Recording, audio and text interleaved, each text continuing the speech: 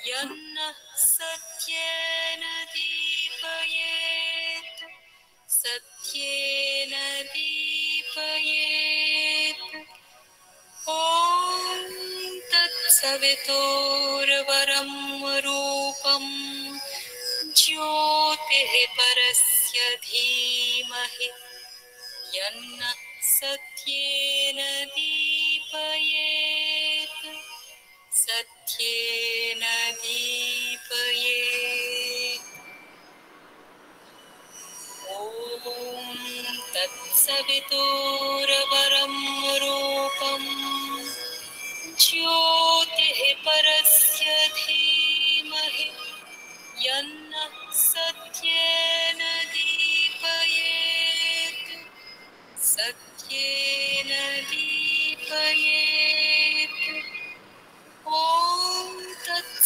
तत्सवितोरवरं रूपं ज्योतिः परस्य धीमहि। यन्नः सत्येन दीपयेत् सत्येन दीपयेत्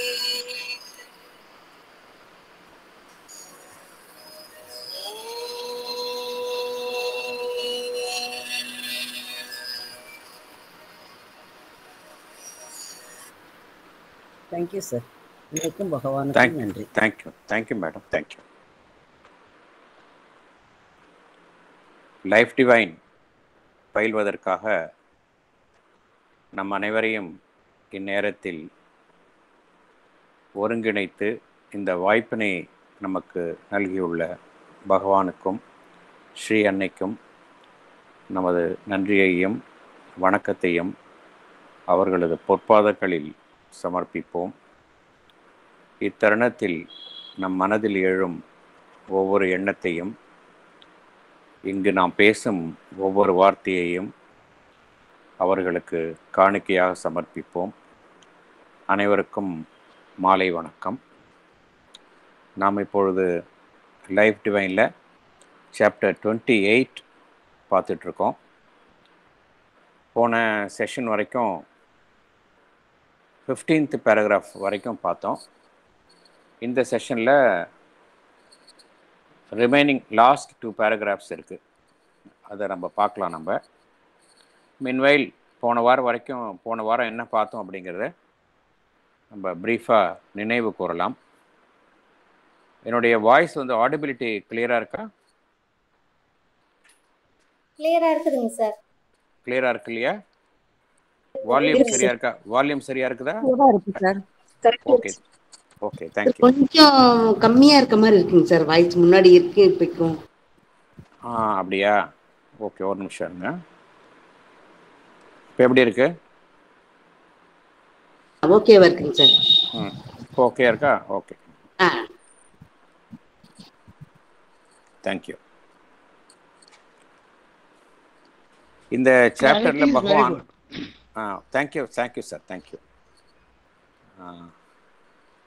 இந்த சாப்டரில் பகவான் இந்த மெயினாக வந்து அந்த ஓவர் மைண்டு ஓவர் மைண்ட் எப்படி அதனுடைய முக்கியமான அம்சங்கள் என்ன? அது எவ்வாறு படிநிலைகளில் இரக்கம் கொள்கின்றது? ஏனால் என்ன காரணத்தினால பகவான் இந்த ஓவர் மைண்டு மாயா அப்படின்னு ஒரு ஃப்ரேஸ் இங்கே ஆட் பண்ணியிருக்கிறார் அப்படின்னா இந்த டிவைன் மாயா அப்படிங்கிறது நமக்கு எல்லோருக்கும் தெரியும். அது ஒரு சாப்டரே பார்த்தோம். டிவைன் மாயா என்பது ஒன்றிலிருந்து அந்த சிருஷ்டி பலவைய பல பலவிதமாக வெளிப்படுவது.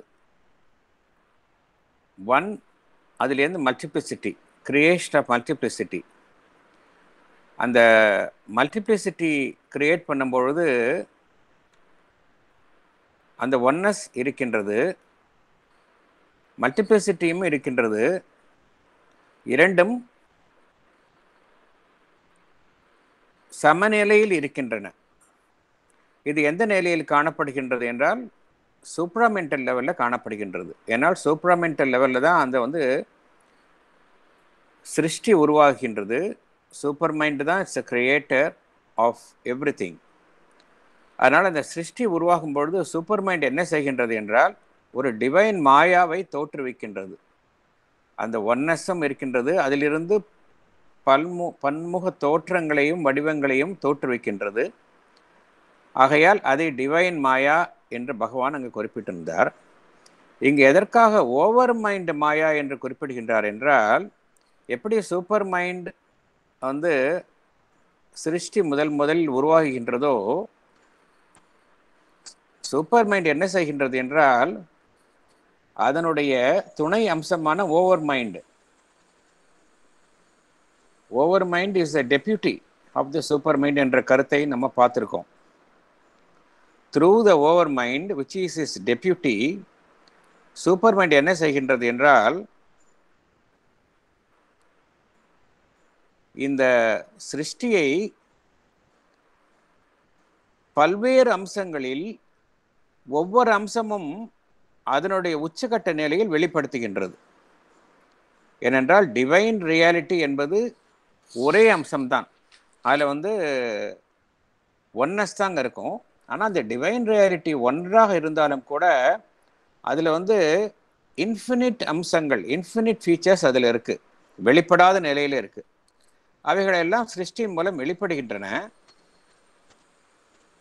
சூப்பர் மைண்ட் மூலம் வெளிப்படுகின்றன. வெளிப்பட்டாலும் இந்த ஓவர் மைண்ட் மூலமாக என்ன நடைபெறுகின்றது என்றால் ஒவ்வொரு அம்சமும் அதனுடைய உச்சக்கட்ட நிலையில் அதனுடைய சிறப்பான நிலையில் வெளிப்படுத்தப்படுகின்றன. அப்பொழுது எந்த விதம் எ- எவ்வித ஒரு தன்மையை அடைகின்றன என்றால் மற்றவைகளை குறித்து அறியாத நிலை exclusive concentration of one thing அங்கு நடைபெறுகின்றது. மற்றவைகளை குறித்து அந்த அறியாமை நிலை ஏற்படுகின்றது. அதாவது இக்னோரன்ஸ் ஆஃப் ஒன்னஸ் அங்கு இருக்கின்றது. ஓவர் மைண்ட் லெவலில் ஒவ்வொன்றும் சிறப்பு தனித்தனியாக வெளிப்படுத்தப்படுகின்றது. ஆதலால் தான் இங்கு எது உருவாகின்றது என்றால் ஓவர் மைண்ட் ஒரு மாயா மாயாவை கிரியேட் பண்ணுகின்றது. மாயா என்றால் பகவான் கூறுவது பகவான் ஏற்கனவே கூறியிருக்கின்றார். அது வந்து ஒரு மாயா என்றால் மாயை என்ற அர்த்தம் கிடையாது. மாயா என்பது ஒரு கிரியேட்டிவ் பவர் ஒன்றிலிருந்து பலவாக உரு உருவாகுவது சூப்பர் மைண்ட் தளத்தில். அப்புறம் ஓவர் மைண்ட் தளத்தில் அவ்வாறு பல் பல அவ்வாறு பலவிதமான உருவாக்கப்பட்டவை ஒவ்வொன்றும் அதனுடைய சிறப்பான நிலையில் எக்ஸ்க்ளூசிவாக சிறப்பாக காட்டப்படுவது ஓவர் மைண்ட் தளத்தில். அங்கே எல்லாமே வந்து இந்த மாயா என்பது ஒரு சக்தி டிவைன் பவர் அளவிட முடியாத ஒன்றை அளவுக்கு உட்பட்டு வெளிப்படுத்துவது. It's a power to measure அதுதான் மாயா என்று பகவான் குறிப்பிடுகின்றார். மாயா என்றால் மாயை கிடையாது. மாயா என்றால் இட்ஸ் அ டிவைன் பவர் ஆகையால் ஓவர் மைண்ட் லெவலில் என்ன நடைபெறுகின்றது என்றால் ஒன்று ஒவ்வொரு அம்சமும் அதனுடைய சிறப்பான அம்சத்தில் அதற்கே உரிய பிரத்யேகமான உரையில் வெளிப்படுத்தப்படுகின்றன. அதனால் அதனால்தான் பகவான் இங்கு இதை ஓவர் மைண்ட் மாயா என்று குறிப்பிடுகின்றார்.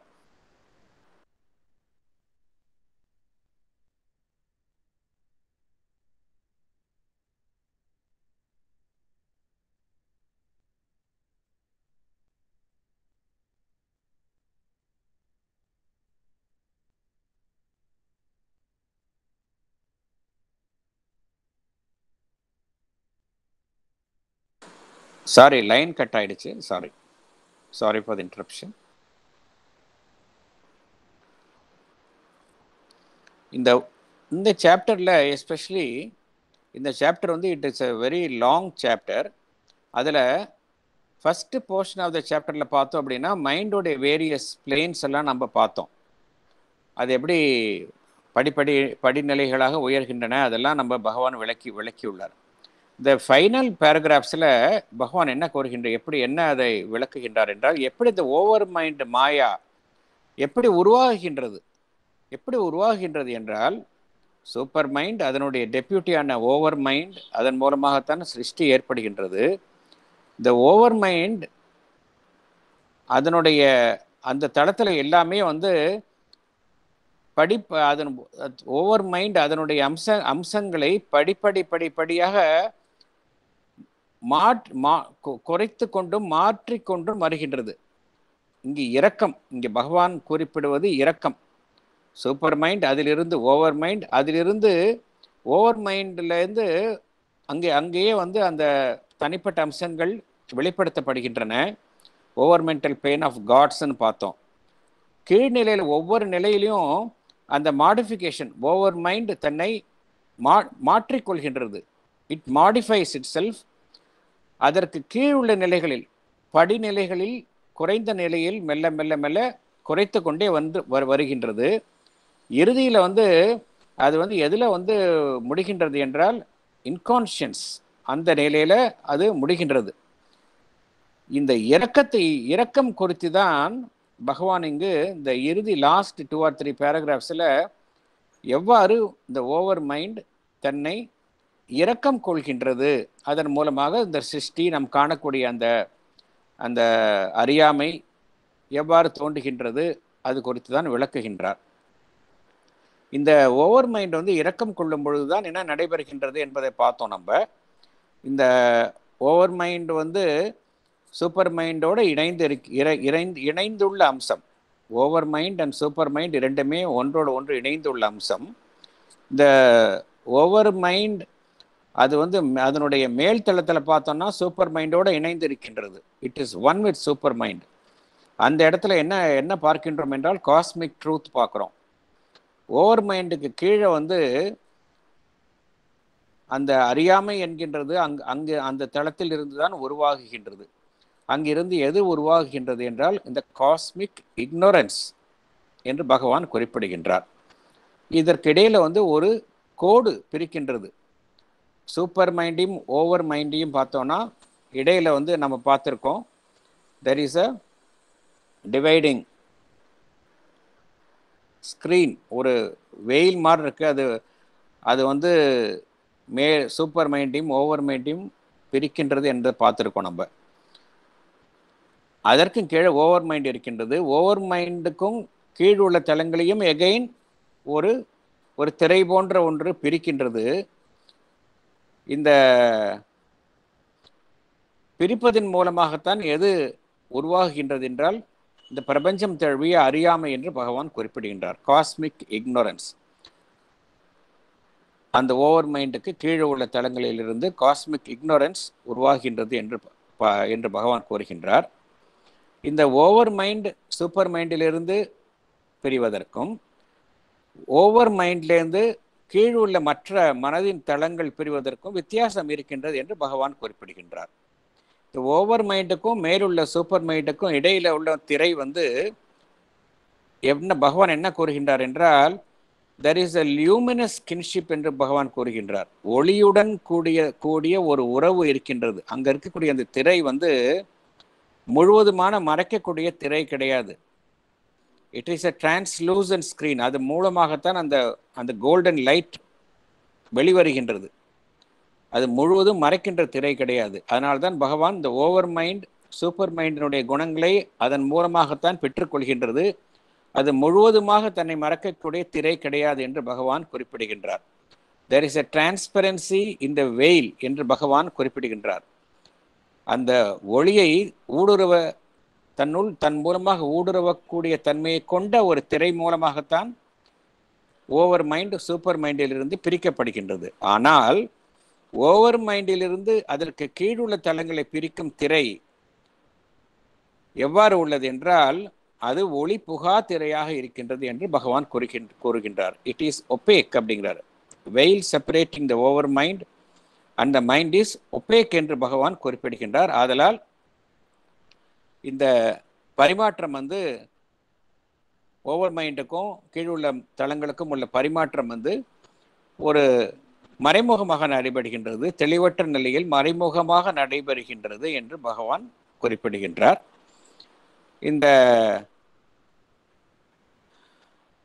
கீழுள்ள அமைப்புகள் எல்லாமே வந்து ஒன்றோடு ஒன்று ஓவர் மைண்டுக்கு கீழுள்ள அமைப்புகள் எல்லாம் அனைத்துமே ஒன்றோடு ஒன்று தொடர்பில் இருந்தாலும் அவைகளால் ஒரு முழுமையான அந்த ஒரு முழுமையின் ஒட்டுமொத்த முழுமையினான முழுமையான ஒரு அம்சத்தை உருவாக்க முடியவில்லை. வெரஸ் ஓவர் மைண்ட் லெவலில் பார்த்தோம் அப்படின்னா there is a global knowledge இருக்கின்றது. அந்த காஸ்மிக் லெவலில் இருக்கக்கூடிய அந்த நாலேஜ் ஓவர் மைண்டுக்கு மேலே தான் இருக்கின்றது. அதற்கு கீழ் உள்ள தளங்களில் வந்து பகவான் என்ன கூறுகின்றார் என்றால் அந்த முழுமை காணப்படுவது இல்லை என்று பகவான் குறிப்பிடுகின்றார். இந்த ஓவர் மைண்டுக்கு கீழ் உள்ள மனத்தில் இருந்துதான் அறியாமை துவங்குகின்றது என்பதை பார்த்தோம். அதில் உள்ள மனம் அந்த cosmic mind below the overmind என்று பகவான் குறிப்பிடுகின்றார். அதில் இருந்து தான் அறியாமை தொடங்கு துவங்குகின்றது என்று பகவான் குறிப்பிடுகின்றார். என்ன என்ன காரணம் என்றால் அந்த காஸ்மிக் மைண்ட் ஓவர் மைண்டுக்கு கீழ் உள்ள அமைப்பா அமைப்பான அந்த காஸ்மிக் மைண்ட் என் காஸ்மிக் மைண்ட் அந்த தளத்தில் கூட அந்த ஒன்னஸ் வித் டிவைன் அது வந்து அனுபவ ரீதியாக அங்கு உணரப்படுவது இல்லை என்று பகவான் குறிப்பிடுகின்றார். இந்த அறியாமை வந்து த காஸ்மிக் மைண்ட் மேலுள்ள தளம் அதற்கு கீழ் உள்ள இண்டிவிஜுவல் மைண்ட்ஸ் அந்த நிலையிலும் இந்த அறியாமை தொடர்ந்து காணப்படுகின்றது என்று பகவான் குறிப்பிடுகின்றார். இந்த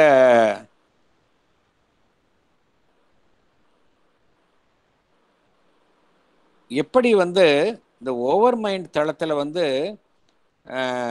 இந்த நாலேஜ் நாலேஜ் நாலேஜ் நாலேஜ் வந்து அறிய ஒரு ஒன்னஸ் ஒருமை என்கின்ற அம்சத்தின் அடிப்படையில் எழுகின்றது.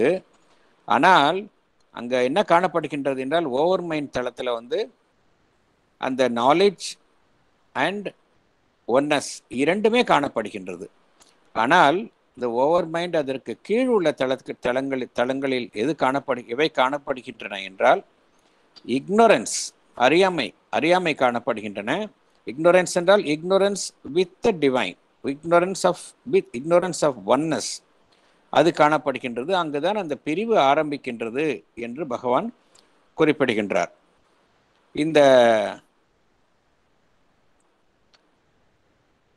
இங்கே பகவான் இந்த இத்தகைய இத்தகைய அம்சங்கள் வந்து இந்த ஓவர் மைண்டுக்கு கீழே காணப்பட்டாலும் கூட பகவான் என்ன கூறுகின்றார் என்றால் இந்த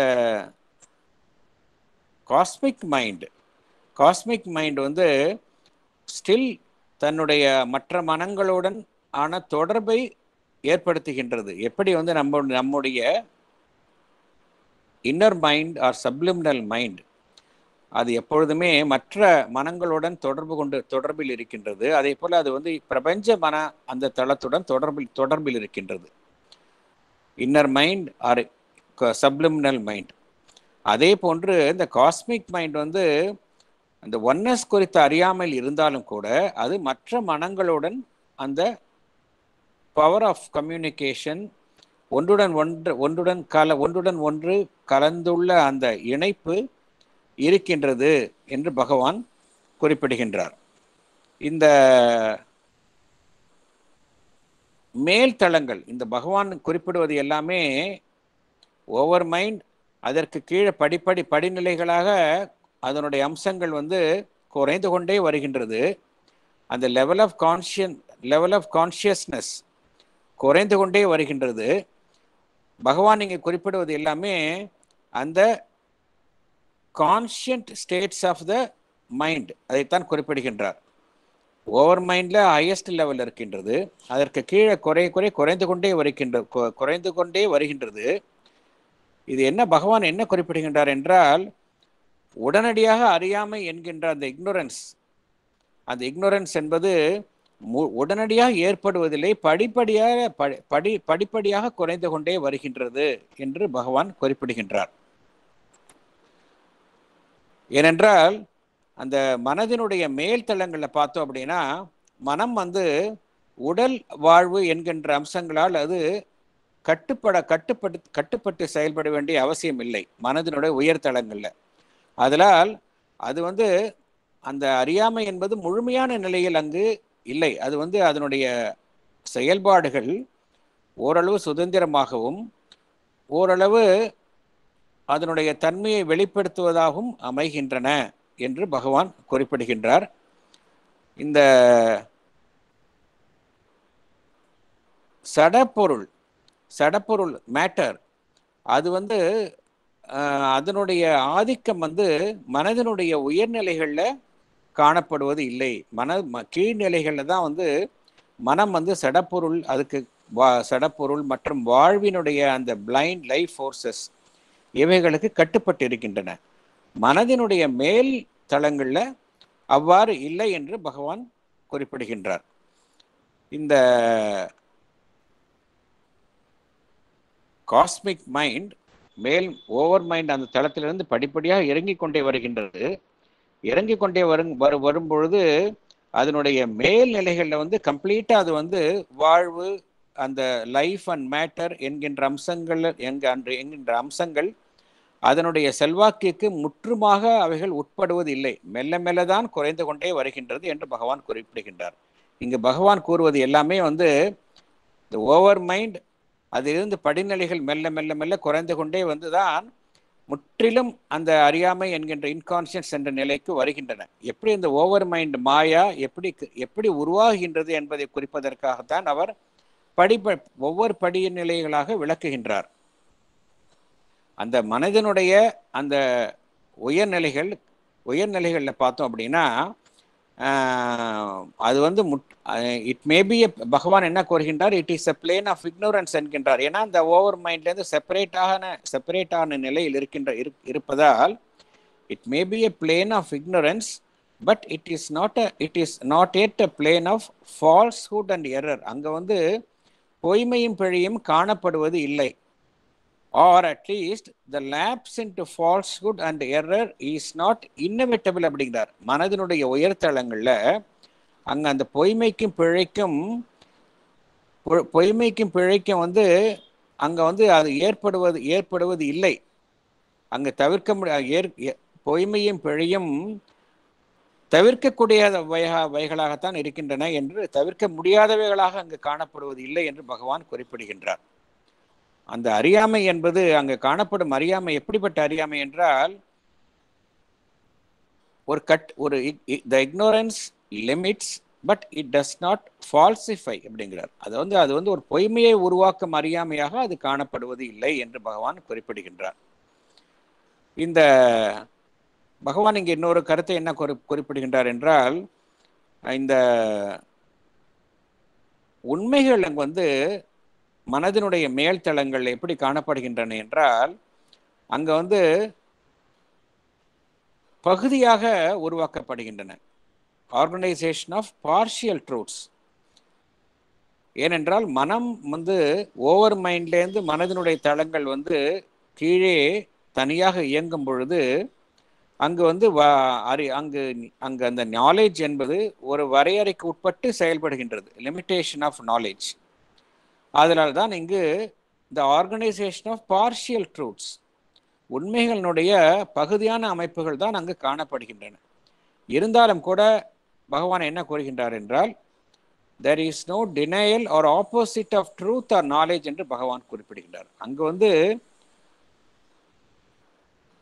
உண்மைக்கு எதிராகவோ அப்போசிஷன் ஆஃப் ட்ரூத் உண்மைக்கு எதிராகவோ த நாலேஜ் அதற்கு எதிரான அம்சங்கள் அங்கு காணப்படுவதில்லை அதை மறுப்பதான அம்சங்கள் அங்கு காணப்படுவது இல்லை. இதெல்லாம் மனதினுடைய மேல்தளங்கள் அப்படி இருக்கின்றது.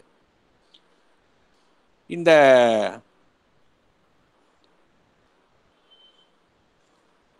இந்த பார்ஷியல் நாலேஜ் மனதினுடைய அந்த பார்ஷியல் நாலேஜ் வந்து அந்த மே உண மன அந்த மனதினுடைய உயர்தளங்களில் மனமும் வாழ்வும் சம்பந்தப்பட்டு இருப்பதால் வாழ்வு என்கின்ற அம்சத்திலும் அந்த பார்ஷியல் நாலேஜ் காணப்படுகின்றது என்று பகவான் குறிப்பிடுகின்றார்.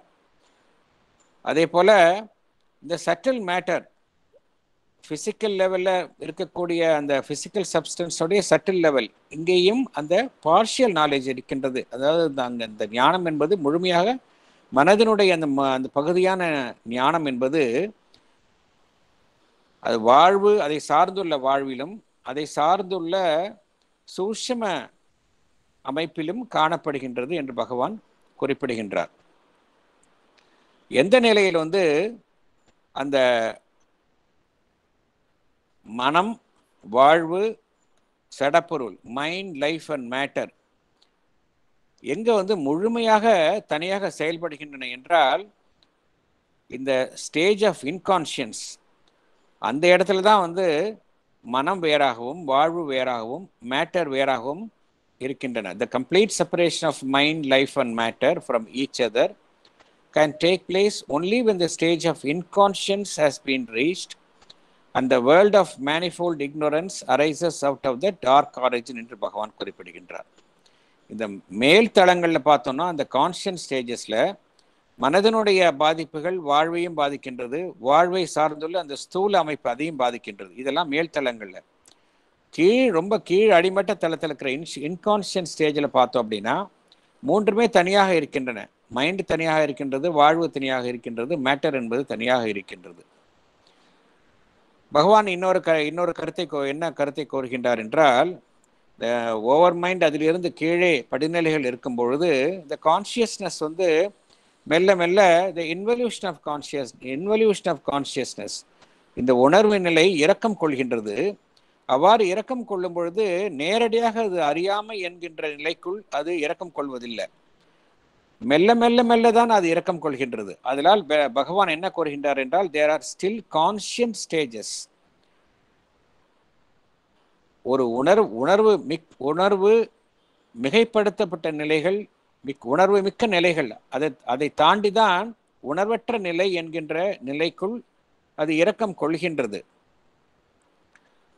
அந்த நிலை அந்த கான்ஷியன் ஸ்டேஜஸில் வந்து பகவான் என்ன கூறுகின்றார் என்றால் ஒவ்வொரு அமைப்புமே வந்து அது the predominant principle itself whether mind life or matter works out things on its own independent basis அப்படிங்கிறார். அந்த உணர்வு உணர்வு முற்றிலும் குறையாத நிலைகளில் என்ன நடைபெறு நடைபெறுகின்றது என்றால் அந்தந்த தளத்தில் இருக்கக்கூடிய அந்த மேலான அம்சங்கள் அவைகள் சுதந்திரமாக அவைகளுடைய சிறப்பான அம்சங்களை வெளிப்படுத்துகின்றன அப்படிங்கிறார். The predominant principle itself whether mind life or matter works out things on its own independent basis எங்கே என்றால் இந்த உணர்வு நிலை முற்றிலும் அறியாமை என்கின்ற நிலைக்கு போகாமல் அதற்கு மேலுள்ள கான்ஷியன்ஸ் ஸ்டேஜஸில் இந்த அமைப்புகள் தனித்தனியாக அதனுடைய பிரத்யோகமான முறையில் செயல்படுகின்றன அப்படிங்கிறார். What is worked out of itself or truths of itself அந்த நிலையில் அவைகள் எதை வெளிப்படுத்துகின்றனோ அவைகள் அதை சார்ந்த உண்மைகளைத்தான் வெளிப்படுத்துகின்றன.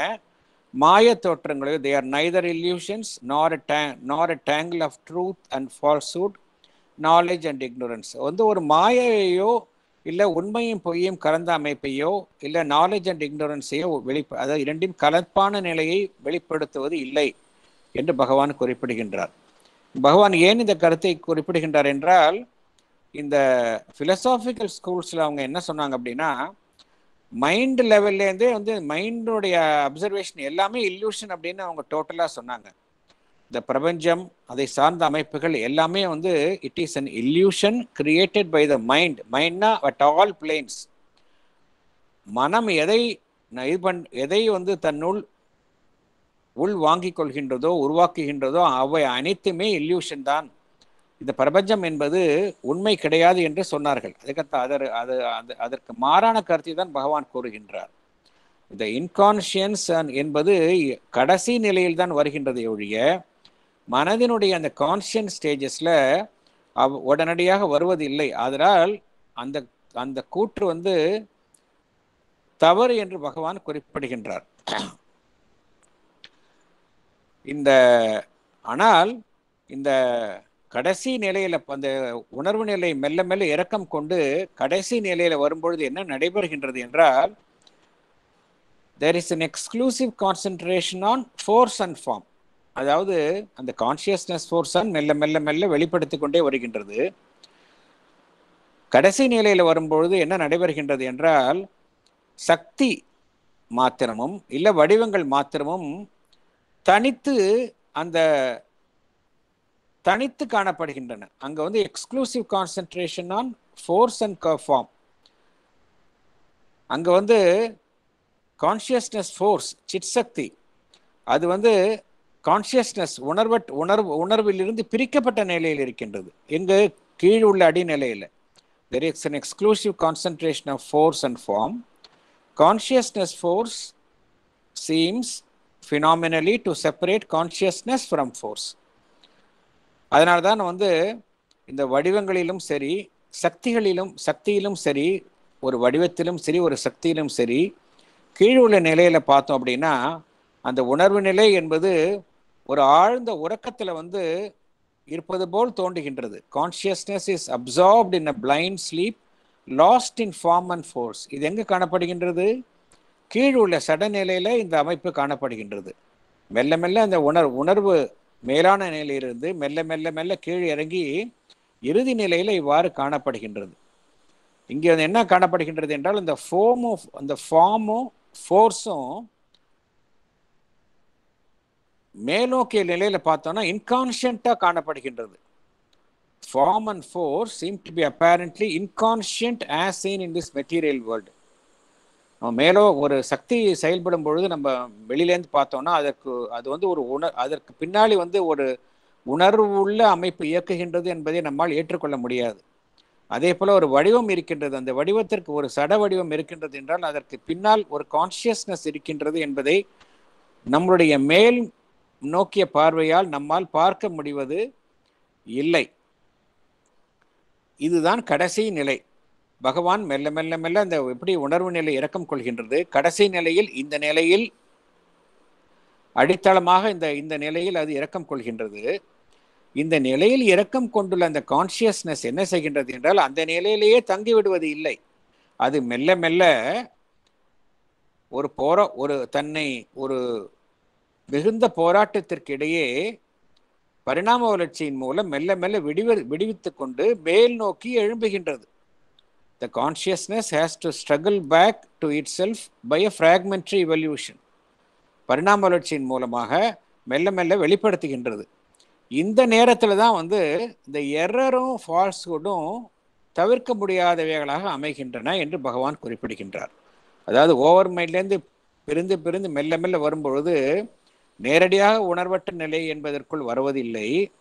அதில் உணர்வு அதிகமான தளங்களில் தலங்களை தாண்டிய பின்னர் தான் இந்த நிலை வருகின்றது. மேலுள்ள தலங்களில் வந்து பொய்மை காணப்படுவது இல்லை அப்படிங்கிறார். பொய்மை இதெல்லாம் காணப்படுவது இல்லை. ஆனால் எங்கு வந்து அந்த ஃபால்ஸ்ஹுட்டும் எரரும் காணப்படுகின்றது என்றால் கடைசி நிலையில் இருக்கக்கூடிய அந்த இன்கான்ஷியன் ஸ்டேஜ்லேருந்து கான்ஷியஸ்னஸ் மெல்ல மெல்ல அந்த அந்த ஒரு போ மிகுந்த போராட்டத்தின் மூலம் தன்னை வெளிப்படுத்தும் பொழுதுதான் இந்த இந்த இந்த பிழையும் பொய்மையும் தவிர்க்க முடியாத அம்சங்களாக அமைந்து விடுகின்றன என்று கூறுகின்றார்.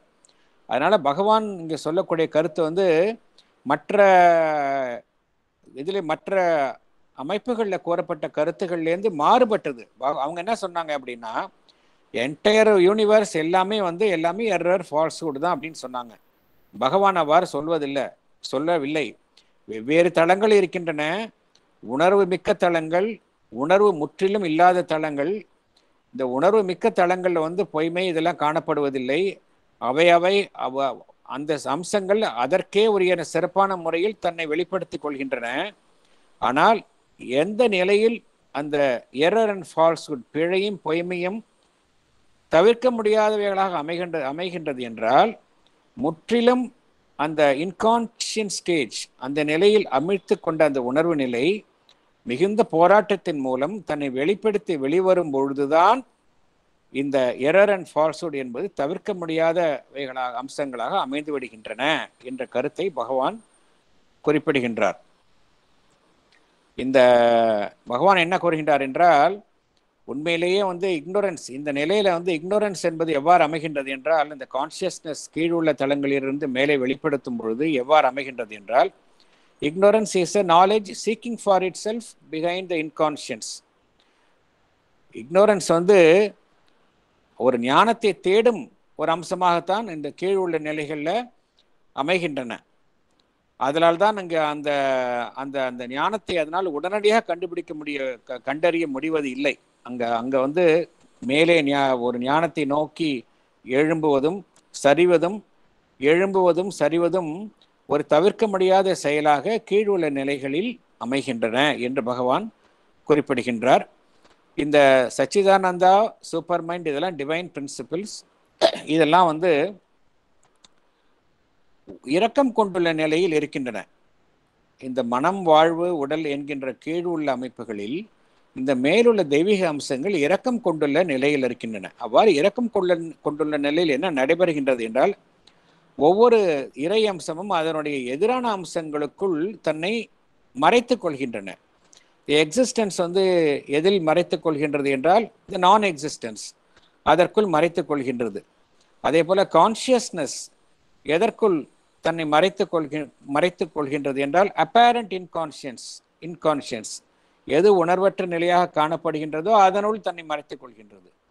அதே போல டிலைட் ஆஃப் எக்ஸிஸ்டன்ஸ் ஆனந்தம் எதற்குள் தன்னை மறைத்துக் கொள்கின்றது என்றால் இந்த பிரபஞ்சத்தில் காண காணப்படக்கூடிய இந்த இன்சென்சிபிலிட்டி ஒரு அறிய முடியாத எந்த விதமான ஒரு உணர்ச்சியையும் அறிய முடியாத நிலைக்குள் அது தன்னை மறைத்துக் கொள்கின்றது. இதுதான் these are the first results of the fall என்று பகவான் குறிப்பிடுகின்றார். இந்த கான்ஷியஸ்னஸ் உணர்வு நிலை கீழே விழு விழு கீழே விழுந்த நிலையில் ஏற்படும் முதல் விளைவு இதுதான். எதிரான நிலைகளுக்குள் தன்னை மறைத்துக் கொள்கின்றன என்று பகவான் குறிப்பிடுகின்றார். அவ்வாறு விழுந்துள்ள உணர்வு நிலையில் இருந்துதான் இந்த பரிணாம வளர்ச்சி ஆரம்பிக்கின்றது.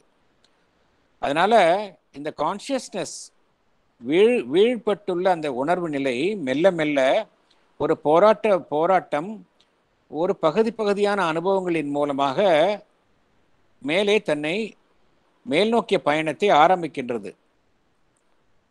அதனால தான் வந்து இந்த உணர்வு நிலையினுடைய அந்த பரிணாம மேல் நோக்கிய பரிணாம வளர்ச்சியில் அது எதை சந்திக்கின்றது என்றால் இந்த இருமைகள் டியூவாலிட்டிஸ் இவைகள் தவிர்க்க முடியாத அம்சங்களாக மாறுகின்றன.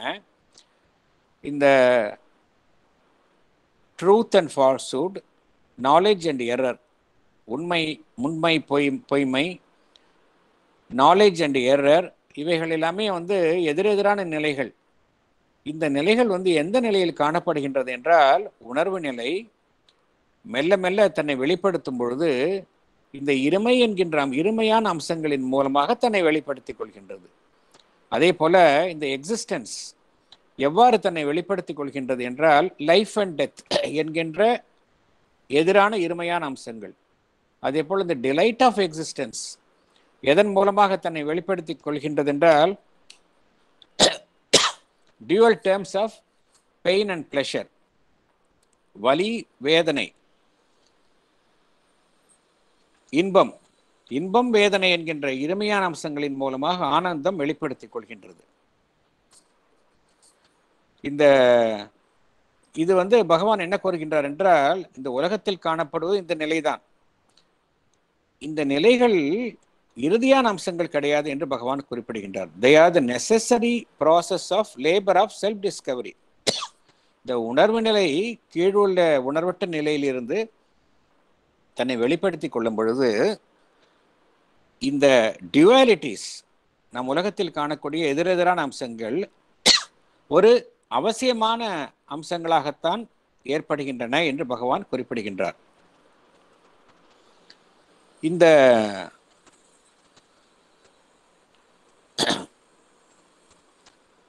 இந்த கீழ் உள்ள இந்த உலகத்தில் பார்த்தோம் அப்படின்னா மனம் உடல் வாழ்வு. இந்த நிலையில் வந்து எது எந்த விதி செயல்படுகின்றது என்றால் overmind law. Overmind law overmind law என்பது தான் மேல் மனத்தின் விதி தான் இங்கு செயல்படுகின்றது. ஏனென்றால் ஓவர் மைண்டுக்கு கீழ் உள்ள அனைத்து தளங்களுமே இந்த ஓவர் மைண்ட் லா அதனுடைய விதியில் தான் செயல்படுகின்றன. இந்த ஓவர் மைண்ட் லா அதனுடைய விதி எவ்வாறு செயல்படுகின்றது என்றால் இந்த கி- இந்த நிலையில வந்து ஒவ்வொரு சக்தியும் ஒவ்வொரு அம்சமும் வந்து அதனுடைய அதற்கு உள்ள அதனுடைய சிறப்பான அம்சங்களை வெளிப்படுத்தும் வண்ணம் தான் அங்கு செயல்பாடுகள் நடைபெறுகின்றன. இறை அம்சம் டிவைன் ரியாலிட்டி என்பது கீழ் ஒன்றாக இருப்பது. அதில் உள்ள அம்சங்கள் வந்து அதனுடைய தனித்தனியான அம்சங்கள் சுதந்திரமாக இங்கு தனித்தனியாக செயல்படு செயல்பட செயல்படுமாறு செயல்படும் வகையில் இந்த ஓவர் மென்டல் அதற்கு உள்ள அமைப்புகளில் அவ்வாறு அமைக்கப்படுகின்றன.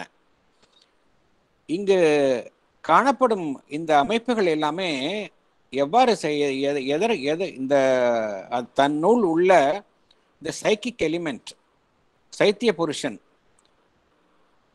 அதற்கு உட்பட்டு செயல்படுவது இல்லை அதே போல இந்த அனைத்திற்கும் பின்புறத்தில் செயல்படும் அந்த சூப்பர் மைண்ட் அதற்கும் அதனுடைய ஆளுமையிலும் செயல்படுவதில்லை. இந்த ஓவர் மைண்டுக்கு கீழே உள்ள நிலையில பார்த்தோம்னா ஒவ்வொரு அமைப்புமே வந்து அதனுடைய சுதந்திரமான நிலையில் அதர் அதனுடைய இண்டி அதனுடைய அதற்கு உள்ளுள்ள அதனுடைய இண்டிவிஜுவல் பொட்டன்ஷியாலிட்டிஸ் அவைகளின் மூலம்தான் செயல் தனித்தனியாக செயல்படுகின்றனவே ஒழிய பகவான் என்ன கூறுகின்றார் என்றால் இந்த here all beings in the evolution are not passively responsive to the psychic element within them or to the super mind underlying the nature's operations. சைத்திய புருஷனுடைய விதிக்கும் கட்டுப்பட்டு விதிக்கோ அல்லது அனைத்திற்கும் பின்புலத்தில் உள்ள அந்த சூப்பர் மைண்ட் அதனுடைய விதிகளுக்கு உட்பட்டோ இவைகள் செயல்படுவதில்லை. இவைகள் எதன் அடிப்படையில் செயல்படுகின்றன என்றால் அவைகளுக்கே உரித்தான உள்ள சிறப்பான அம்சத்தில் செயல்படுகின்றன சுதந்திரமாக செயல்படுகின்றன. அதனால் இங்கே என்ன நடைபெறுகின்றது என்றால் இந்த பியோர் எக்ஸ்பீரியன்ஸ் சச்சிதானந்தாவினுடைய அந்த உண்மையான அனுபவம் த ட்ரூத் நாலேஜ் டிலைட் இம்பெரி இம்பெரிஷபிள் எக்ஸிஸ்டன்ஸ் உண்மை ஞானம் ஆனந்தம் மரணமில்லாத வாழ்வு என்பது இங்கு ந இங்கு இங்கு நடைபெறுவதற்கு சாத்தியமில்லாத நிலையில் தற்போது உள்ள நிலையில் அமை அவ்வாறு அமைந்துள்ளது என்று பகவான் குறிப்பிடுகின்றார். இங்க இவ்- இந்த உலகம் தற்பொழுது இந்த பரிணாம வளர்ச்சிக்கு உட்பட்டு வெளி பரிணாம வளர்ச்சியின் மு- பரிணாம வள- வளர்ச்சிக்கு உட்பட்டு நிலையில் செயல்படும் இந்த உலகத்துல எது தவிர்க்க முடியாத நிலைகளில் தனிக்க தணிக்க தவிர்க்க முடியாத அம்சங்களாக அமைகின்றன என்றால் தி எமர்ஜென்ஸ் ஆஃப் ஃபோக்ன ஃபோர்ஸஸ் ஆஃப் டார்க்னஸ் இருளின் சக்திகளின் வெளிப்பாடு த- தவிர்க்க முடியாத நிலையாக அமைகின்றது. ஏனென்றால் இந்த சக்திகள் தான் இந்த அறியாமை என்கின்ற அம்சத்தை ஒரு நிலைநிறுத்துகின்றன. தன்னிலிருந்து இந்த உலகத்தில் இருந்து அறியாமை விடுபடாத வண்ணம் எந்த சக்திகள் வந்து இந்த அறியாமை என்கின்ற அம்சத்தை தன் கட்டுக்குள் வைத்திருக்கின்றன என்றால் இந்த forces of darkness emergence of ஃபோர்க்னஸ் of darkness இருளின் சக்திகள் இவைகள் இவைகளின் செயல்பாடு இருக்கின்றது. அதே போல an ignorance struggle to know ஒன்றை அறிந்து கொள்வதற்கான ஏற்பட ஏற்படக்கூடிய ஒரு போராட்டம். ஒன்றை அறிந்து கொள்வதற்காக ஏனென்றால் நமக்கு நாம் வந்து ஞானம் என்பதை நாம் ஒரு போராட்டத்தின் மூலமாகத்தான் அறிந்து கொள்கின்றோம்.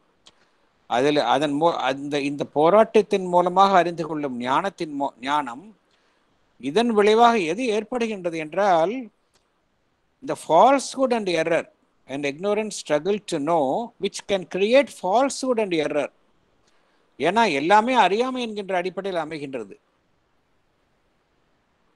ஏனென்றால் இந்த இந்த உலகத்தில் பார்த்தோன்னா உலகம் வந்து எதிலே எந்த அதனுடைய ஆதி நிலை என்னவாக இருக்கின்றது என்றால் இன்கான்ஷியன்ஸ் ஒரிஜினல் இன்கான்ஷியன்ஸ் அந்த டிவிஷன் ஆஃப் கான்ஷியஸ்னஸ் இதுதான் வந்து மெயின் பிரின்சிபிள்ஸாக விதியாக இருக்கின்றன. அதனால் இந்த உலகத்தில் பரிணாம பரிணாம வளர்ச்சியின் மூலம் இந்த உலகத்தில் எத்தகைய அம்சங்கள் காணப்படுகின்றது என்றால் இருளின் சக்திகளின் வெளிப்பாடு. அவைகள் என்ன செய்கின்றன என்றால் இந்த அறியாமை என்கின்ற அம்சத்தை தன்னுள் கொண்டதாகவும் அந்த அறியாமையை நிலைநிறுத்துவதாகவும் அவைகள் செயல்படுகின்றன. அதே போல இக்னோரன்ஸ் ஸ்ட்ரகிள் டு நோ ஒரு போராட்டத்தின் மூலமாக ஒன்றை அறிந்து கொள்ள முயற்சிப்பது. போராடி ஒரு ஒரு அறியாமை என் அறியாமையின் மூலம் ஏற்படும் போராட்டத்தின் மூலமாக ஒன்றை அறிய முயற்சிப்பது. அதனால் என்ன விளைகின்றது என்றால் பொய்மையும் பிழையும் தான் விளைகின்றன. Which can create falsehood and error அதே போல் and ignorant struggle to live இந்த வாழ முயற்சிப்பது ஒரு ignorant ஸ்ட்ரகிளாகத்தான் இருக்கின்றது இந்த நிலையில். அது அது எதை தோற்றுவிக்கின்றது என்றால் காசிங் ராங் அண்ட் ஈவில் ஒரு தவறையும் ஒரு தீமையையும் தான் அவைகள் தோற்றுவிக்கின்றன.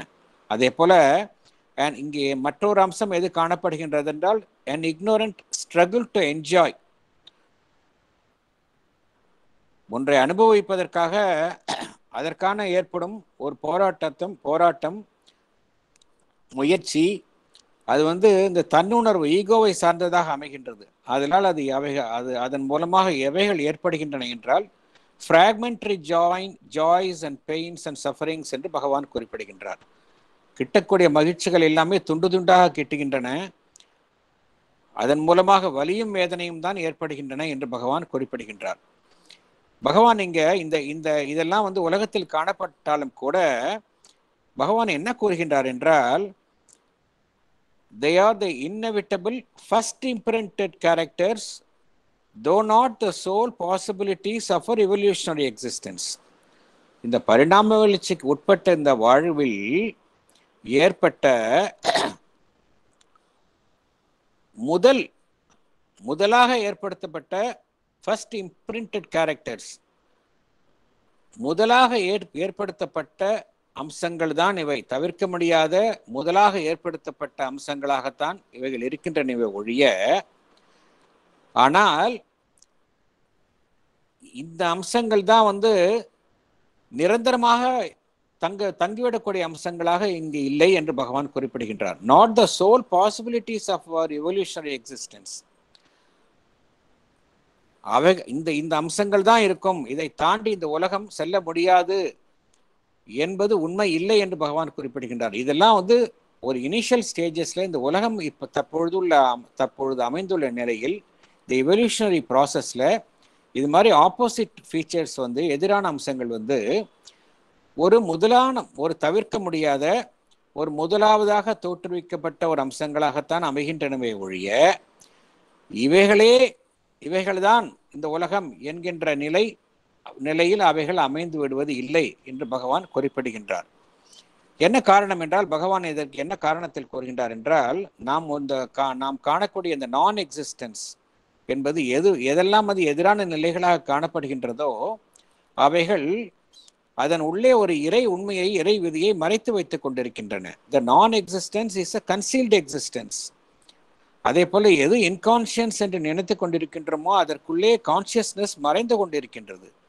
அதே போல எது இன்சென்சிபிலிட்டி என்று நினைத்து கொண்டிருக்கின்றோமோ அதற்குள் ஆனந்தம் இருக்கின்றது. இதெல்லாம் வந்து சீக்ரெட் ரியாலிட்டிஸ் இவைகள் வெளிப்பட்டாக வெளிப்பட்டாக வேண்டும் என்று பகவான் குறிப்பிடுகின்றார். அதே போல நாம் வந்து ஒரு இருளா இருளான இருளான ஒரு அமைப்பாகத்தான் நாம் இந்த உலகத்தை பார்க்கின்றோம். What we see in this world is apparently opposite organisation from a dark infinite எதிரான அமை அமைப்புகளாகவும் ஒரு இருளான ஒரு அம்சத்தின் வெளிப்பாடாகவும் தான் இந்த உலகத்தை என்ன பார்க்கின்றோம். ஆனால் இந்த இதற்கு பின்னால் எது மறைந்துள்ளது என்றால் over mind and super mind. இதற்கு பின்னால் இந்த ஓவர் மைண்ட் சூப்பர் மைண்ட் இந்த இந்த இறை இறை டிவைன் பிரின்சிபிள்ஸ் இவைகள் மறைந்துள்ளன. அவைகள் இறுதியில் வெளிப்பட்டாகவே வேண்டும் என்று பகவான் குறிப்பிடுகின்றார். ஆகையால் இந்த உலகத்தில் இந்த பிரபஞ்சத்தில் காணக்கூடிய இந்த அம்ச எதிரான அம்சங்கள் ஒரு பரிணாம வளர்ச்சி ஏற்பட்டுள்ள ஒரு முதலாவதான அம்சங்களை அம்சங்களை ஒழிய இறுதியான நிலையான அம்சங்கள் இல்லை என்கின்ற ஒரு பாசிட்டிவ் நோட் அதோடன் இந்த போன பேராகிராஃப் 15 முடிந்திருந்தது. இந்த இந்த இந்த செஷன்லேருந்து நம்ம பேராகிராஃப் சிக்ஸ்டீனுக்கு நம்ம உள்ள போகலாம் நம்ம. பேராகிராஃப் சிக்ஸ்டீன் படிக்கிறீங்களா? படிக்கவா சார்? ஆ படிங்க மேடம் சி ப்ளீஸ் ப்ளீஸ் படிங்க. As in our subliminal or inner mind, so in this mind also, a larger power of communication and mutuality still remain. A freer play madam of இந்த paragraph sixteen தானே படிக்கிறீங்க oh, 16, ah, sorry, na 15. Sixteen sixteen fifteen படிச்சிட்டோம் நம்ம Sorry, sorry, sorry. Paragraph 16. Two things render that culmination more facile than it would otherwise be. Overmind in the descent towards material creation has originated modifications of itself.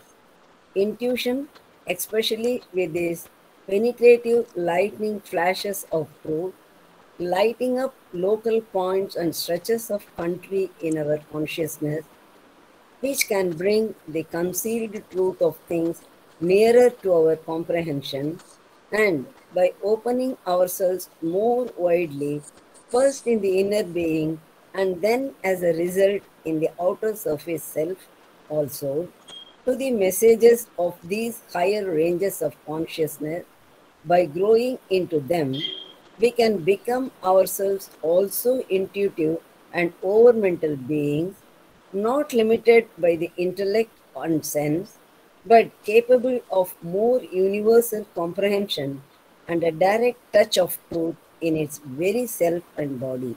Thank you. Sir. Thank you. Thank you, madam. Thank you. Thank you. Explanation, Padding. Sir, sir, can I read, sir? Ah, uh, padding. Padding, sir, Padding. Please, padding. Sir. Explanation.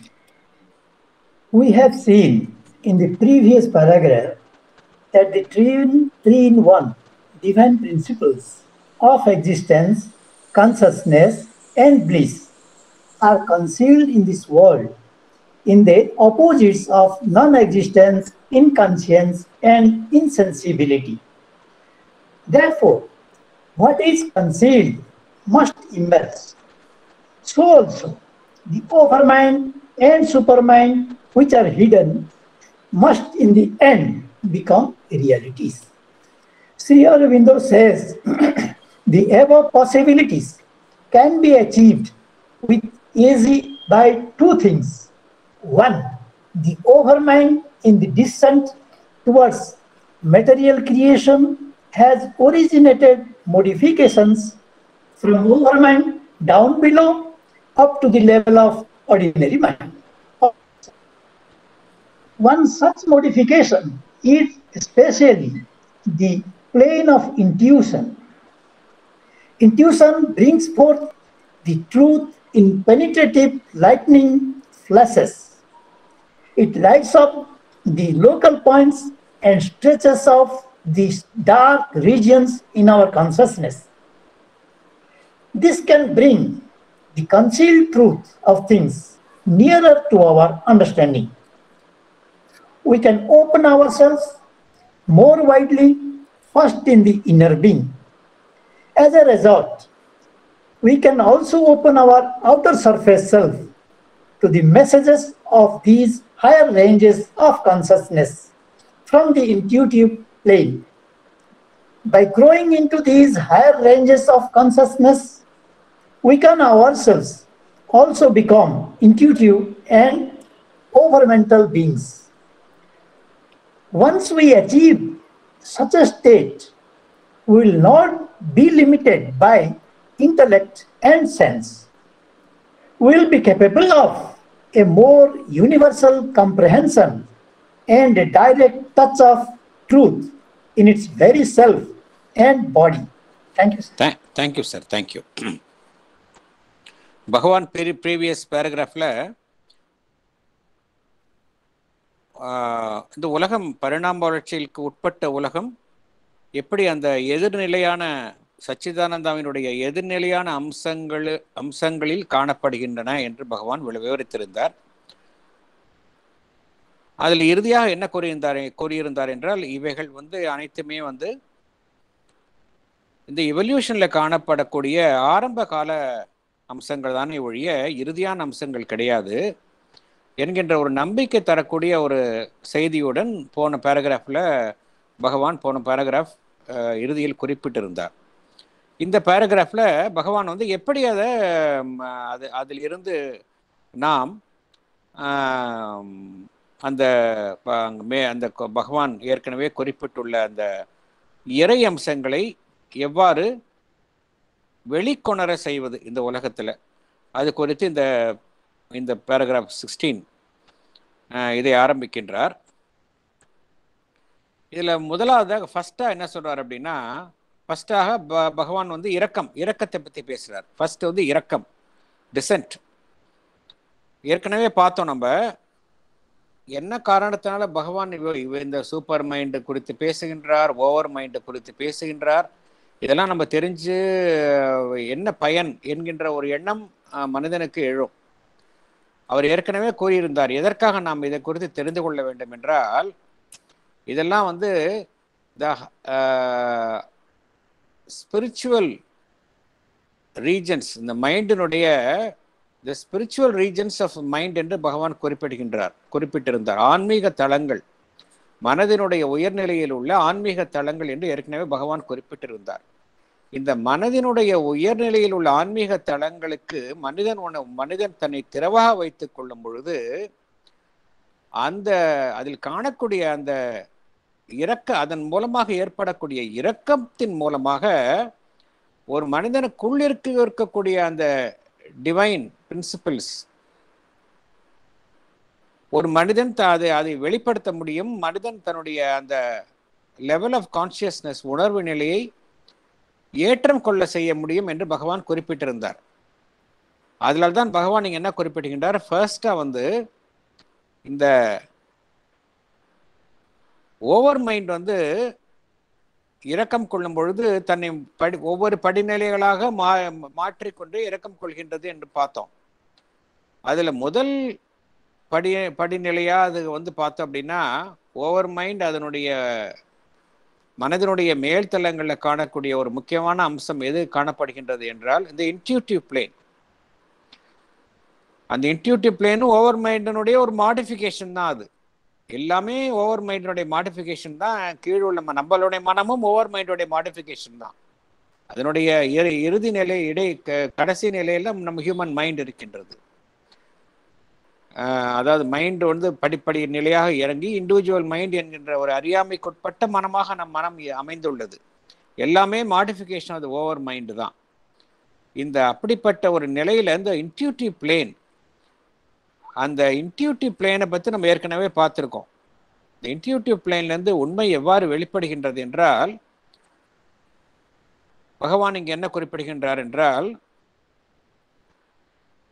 இந்த intuition especially with its penetrative lightning flashes of truths அப்படிங்கிறார். அதுலேருந்து வெளிப்படும் உண்மை வந்து lightning flashes of truth அப்படிங்கிறார். ஒரு எப்படி ஒரு மின்னல் வெளிச்சம் அந்த மின்னல் வெளிச்சம் இருக்கின்றது இல்லையா? அதில் அது ஒரு ஆழமாக ஊடுருவக்கூடிய மின்னல் வெளிச்சமாகத்தான் உண்மை அந்த தளத்தில் இருந்து வெளிப்படுகின்றது. அவ்வாறு வெளிப்படும் ஒளி என்ன செய்கின்றது என்றால் நம்முடைய அந்த உணர்வு நிலையில் உள்ள இருளான பகுதிகள் நீண்ட அகண்டு பிரிந்த நிலையில் இருக்கக்கூடிய அந்த இருளான பகுதிகள் அவைகளை ஒளியூட்டுகின்றன என்று பகவான் குறிப்பிடுகின்றார். அவ்வாறு ஒளியூட்டப்படும் பொழுது எது ந- என்ன நடைபெறுகின்றது என்றால் மறைக்கப்பட்டுள்ள நிலைகள் ஏனென்றால் ஒரு இருளை வந்து நம்ம ஒளியூட்டும் பொழுது அந்த இருள் எதை மறைக்கின்றதோ எதை மறைக்கின்றதோ அது வந்து வெளிவருகின்றது. நம்மளுடைய இந்த கான்சியஸ்னஸ் வந்து எதை மறைக்கின்றது என்றால் இறையம்சங்கள் இறையம்சங்களை மறைத்த நிலையில் நம்மளுடைய உணர்வு நிலை அமைந்துள்ளது. அந்த இருளை அகற்றும் பொழுது உள்ளே இருக்கக்கூடிய அந்த இறையம்சங்கள் வெளிப்படுகின்றன அப்படிங்கிறார். This can bring the concealed truth of things nearer to our understanding அப்படிங்கிறார் பகவான். இது எவ்வாறு சாத்தியம் என்றால் பகவான் என்ன கூறுகின்றார் என்றால் முதலில் நம்முடைய ஜீவனுடைய எந்த பகுதியை நாம் திறவாக வைத்துக் கொள்ள வேண்டும் என்றால் நம்முடைய அந்த அக ஜீவன் இன்னர் பீயிங் அதை நாம் இந்த மேலுள்ள இந்த ஆன்மீக தளங்களுக்கு திறவாக வைத்துக் கொள்ள வேண்டும் என்கின்றார் பகவான். அவ்வாறு வைத்துக் கொள்வதன் மூலம் நம்மளுடைய புறஜீவனையும் நாம் அந்த உயர்தளங்களிலிருந்து வரக்கூடிய அந்த தகவல்களுக்கு திறவாக வைத்துக் கொள்கின்றோம் என்று பகவான் குறிப்பிடுகின்றார். இந்த உயர்தளங்கள் உணர்வினுடைய உணர்வு நிலையில் உள்ள உயர்தளங்களுக்கு திறவாக வைத்துக் கொள்வதன் மூலம் நாமும் we can also become intuitive and overmental beings நம்முடைய மனமும் அந்த இன்ட்யூட்டிவ் பிளேன் ஆஃப் பிளேன் இந்த ஓவர் மென்டல் பிளேன் அதனுடைய ஆளுமையில் வருவது வருவது சாத்தியம் என்று பகவான் குறிப்பிடுகின்றார். அவ்வாறு நம்முடைய மனம் இந்த இன்ட்யூட்டிவ் பிளேன் இந்த ஓவர் மென்டல் பிளேன் இந்த மேல்மனம் இந்த இன்ட்யூட்டிவ் பிளேன் ஆஃப் மைண்ட் இத்தகைய உயர் அம்சங்களை எட்டும் பொழுது அதனுடைய அம்சத்தின் அடிப்படையில் செயல்படும் பொழுது நாம் தற்பொழுது எவ்வாறு செயல்படுகின்றோம் என்றால் நாம் அறிவுக்கு உட்பட்டும் புலன்களுக்கு உட்பட்டும் ஒரு வரைய ஒரு வரையறை ஒரு வரையறைக்கு உட்பட்டு தான் செயல்படுகின்றோம். மனிதனுடைய செயல் ம மனம் அவனுடைய அறிவு அவனுடைய புலன்கள் இவைகளால் கட்டுப்பட்ட நிலையில் தான் செயல்படுகின்றன. ஆனால் நாம் இந்த இன்டியூட்டிவ் பிளேன் அதற்கு மேலுள்ள இந்த ஓவர் மென்டல் பிளேன் இவைகளுக்கு திறவாக வைத்து கொள்ளும் பொழுது நாம் வந்து நமக்கு என்ன ஒரு அனுபவம் கிட்டுகின்றது என்றால் பிரபஞ்சம் தழுவிய ஒரு ஞானம் யூனிவர்சல் காம்ப்ரிஹென்ஷன் ஒரு புரிதல் கிடைக்கின்றது. அதே போல் ஒரு நி- உண்மையுடன் ஒவ்வொரு அஹ், ஒவ்- இந்த உல- பிரபஞ்சத்தில் உள்ள ஒவ்வொரு விஷயத்திலும் பின்னால் உள்ள அந்த உண்மை அந்த உண்மையுடனான நேரடி தொடர்பு நமக்கு கிடைக்கின்றது என்று பகவான் குறிப்பிடுகின்றார் By growing into them, we can become ourselves also intuitive and over mental beings, not limited by the intellect and sense, but capable of a more universal comprehension and a direct touch of truth in its very self and body என்று பகவான் குறிப்பிடுகின்றார் இப்ப அடுத்த part of போலாமா In fact, flashes of enlightenment from these higher ranges already come to us, but this intervention is mostly fragmentary, casual, and partial. we have still to begin to enlarge ourselves into their likeness and organize in us the greater truth activities of which we are potentially capable. Thank you. Thank you, madam. Thank you. Explanation. Explanation. Even now, flashes of enlightenment from these higher ranges already come to us this occurrence is not a constant phenomenon. It is mostly fragmentary, casual, or partial. In order to make ourselves more receptive to such interventions, we still have to begin to enlarge ourselves beyond the narrow ranges of mental, vital, and physical consciousness, aligning ourselves with the higher ranges. We should organize our activities around the psychic principle in us. Activities directed by our psychic being are greater truth activities as compared to activities directed by our mind, life, and body. Since psychic being is within us, we are potentially capable of organizing our activities around our psychic center. Thank you thank you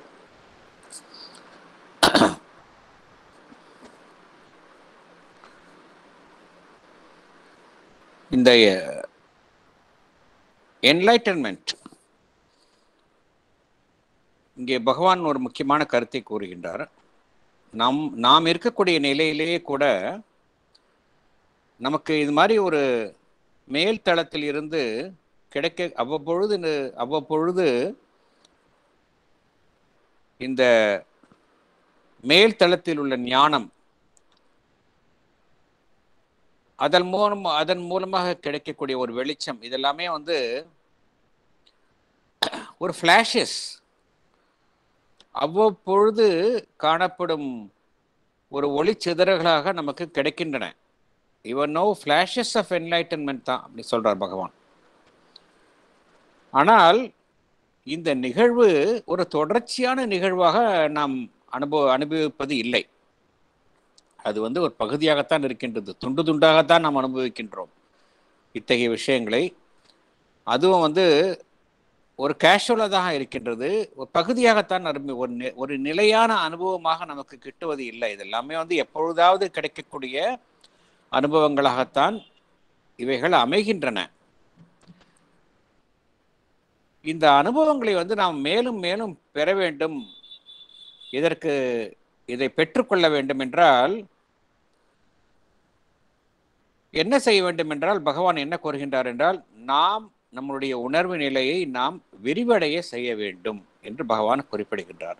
தற்பொழுது நம்முடைய உணர்வு நிலை மனம் பிராணமயம் நம்மளுடைய அந்த physical consciousness உடல் சார்ந்த உணர்வு நிலை இந்த மூன்று அம்சங்கள் என்கின்ற ஒரு குறுகிய எல்லைக்குட்பட்டு தான் செயல்படுகின்றது. இதை நாம் விரிவுபடுத்த வேண்டும் என்று பகவான் குறிப்பிடுகின்றார். இந்த மேலுள்ள அந்த ஆன்மீக தளங்கள் அதனுடன் நாம் இணைத்து கொள்ள வேண்டும்.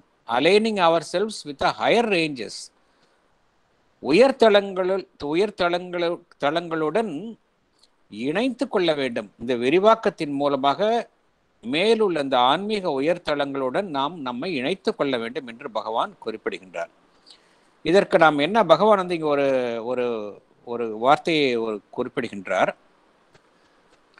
விஸ் we have to still we have still to begin to enlarge ourselves into the likeness and ஆர்கனைஸ்னஸ் the greater truth activities of which we are potentially capable the greater truth activities truth Bhagavan truth என்று கேபிட்டலில் குறிப்பிடுகின்றார். Greater truth activities என்றால் நம்மளுடைய செய நம்மளுடைய செயல்பாடுகள் வந்து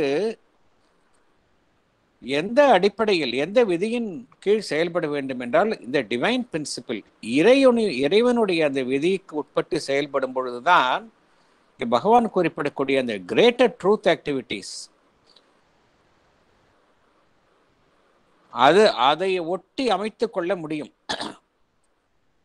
இந்த கிரேட்டர் ட்ரூத் ஆக்டிவிட்டிஸ் என்று பகவான் குறிப்பிடுவது எதுவென்றால் இந்த சைக்கிக் பிரின்சிபிள் சைத்திய விதி சைக்கிக் பிரின்சிபிள் சின்னஸ் எந்த செயல்பாடுகள் எல்லாமே வந்து நம்மளுடைய இந்த சைத்திய ஆளுமையின் மூலம் சைத்திய உணர்வினால் அமைக்கப்படுகின்றதோ அதுதான் வந்து த கிரேட்டர் ட்ரூத் ஆக்டிவிட்டீஸ் என்று பகவான் குறிப்பிடுவது. இந்த மே இந்த இந்த அதி உன்னதமான மேல் மேலுள்ள அந்த உண்மை இறை உண்மை. எந்த செ- எத்தகைய செயல்கள் என்றால் ஒரு மனிதனுடைய அந்த ஆன்மீக அந்த தளம் சைக்கிக் பிரின்சிபிள் சைத்திய புருஷன் அதன் அடிப்படையில் நிகழும் செயல்பாடுகள் தான் வந்து இந்த கிரேட்டர் ட்ரூத் ஆக்டிவிட்டீஸ்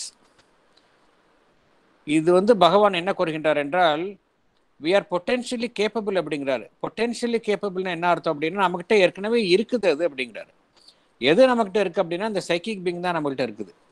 அதனால அந்த சைக்கிக் பீயிங் நம்மகிட்ட இருக்கிறதுனால we are potentially capable of organising our activities around our psychic centre அது மாதிரி வரும்போது என்ன நடைபெறுகின்றது என்றால் இந்த மேல் தளத்திலிருந்து கிட்டக்கூடிய அந்த வெளிச்சம் எப்பொழுதாவது கிட்டக்கூடிய வெளிச்சத்தை நாம் நிரந்தரமாக பெறக்கூடிய வாய்ப்பு நமக்கு கிட்டுகின்றது என்று பகவான் குறிப்பிடுகின்றார். இது குறித்து பகவான் வந்து நிரோத்பரனுக்கு வந்து ஒரு ஒரு கடித ஒரு தொடர்பு நாம் நினைவு கொள்ளலாம். நிரோத்பரன் வந்து ஒரு மிகவும் ஒரு மனம் துவண்ட நிலையில் பகவானிடம் கேட்கின்றார். நீங்கள் நீங்கள் குறிப்பிடக்கூடிய விஷயங்கள் எல்லாமே மிகவும் உயர்ந்த விஷயங்களாக இருக்கின்றன. சாதாரண மனித நிலையில் உள்ள உள்ள- என்னால் எவ்வாறு இத்தகைய உயர்ந்த அனுபவங்களை எட்ட முடியும் என்கின்ற ஒரு கருத்தை வேதனையுடன் மனவேதனையுடன் கேட்கின்றார். அதற்கு பகவான் வந்து மிகவும் ஒரு ஒரு முக்கியமான ஒரு விஷயத்தை மிகவும் குறுகிய செய்தியாக குறிப்பிடுகின்றார். என்ன கூறுகின்றார் என்றால் all you need to know is there is a soul within and and grace enough that is sufficient அப்படிங்கிறார். All you need it need to know is there is a soul within and a grace above இந்த இரண்டு விஷயத்தை நீ ஞாபகம் வச்சுட்டேன்னா போதும். மற்றதெல்லாம் மற்றதெல்லாம் ஆட்டோமேட்டிக்காக அதை சுற்றி அமைஞ்சிரும் அப்படிங்கிறார். அதனால தான் பகவான் இவ்வளோ விஷயத்தை சொன்னாலும் என்ன கூறுகின்றார் என்றால் சைக்கிக் பீயிங் அதை சுற்றி ஒரு மனிதன் வந்து தன்னுடைய வாழ்வை வந்து அமைத்துக் கொள்ளும் பொழுது எல்லா விதமான உயர் ஆன்மீக அனுபவங்களும் வந்து சாத்தியப்படும் என்று பகவான் இங்கே குறிப்பிடுகின்றார்.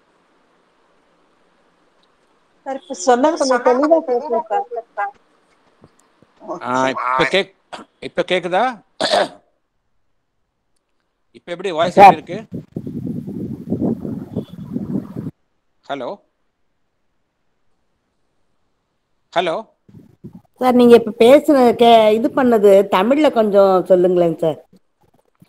இப்ப கேக் இப்ப நான் பேசுறது ஃபர்ஸ்ட் வாய்ஸ் கிளியரா கேக்குதா? ஆ கிளியரா கேக்குதுங்க சார். Okay okay. அதாவது நிரோத்பரன் வந்து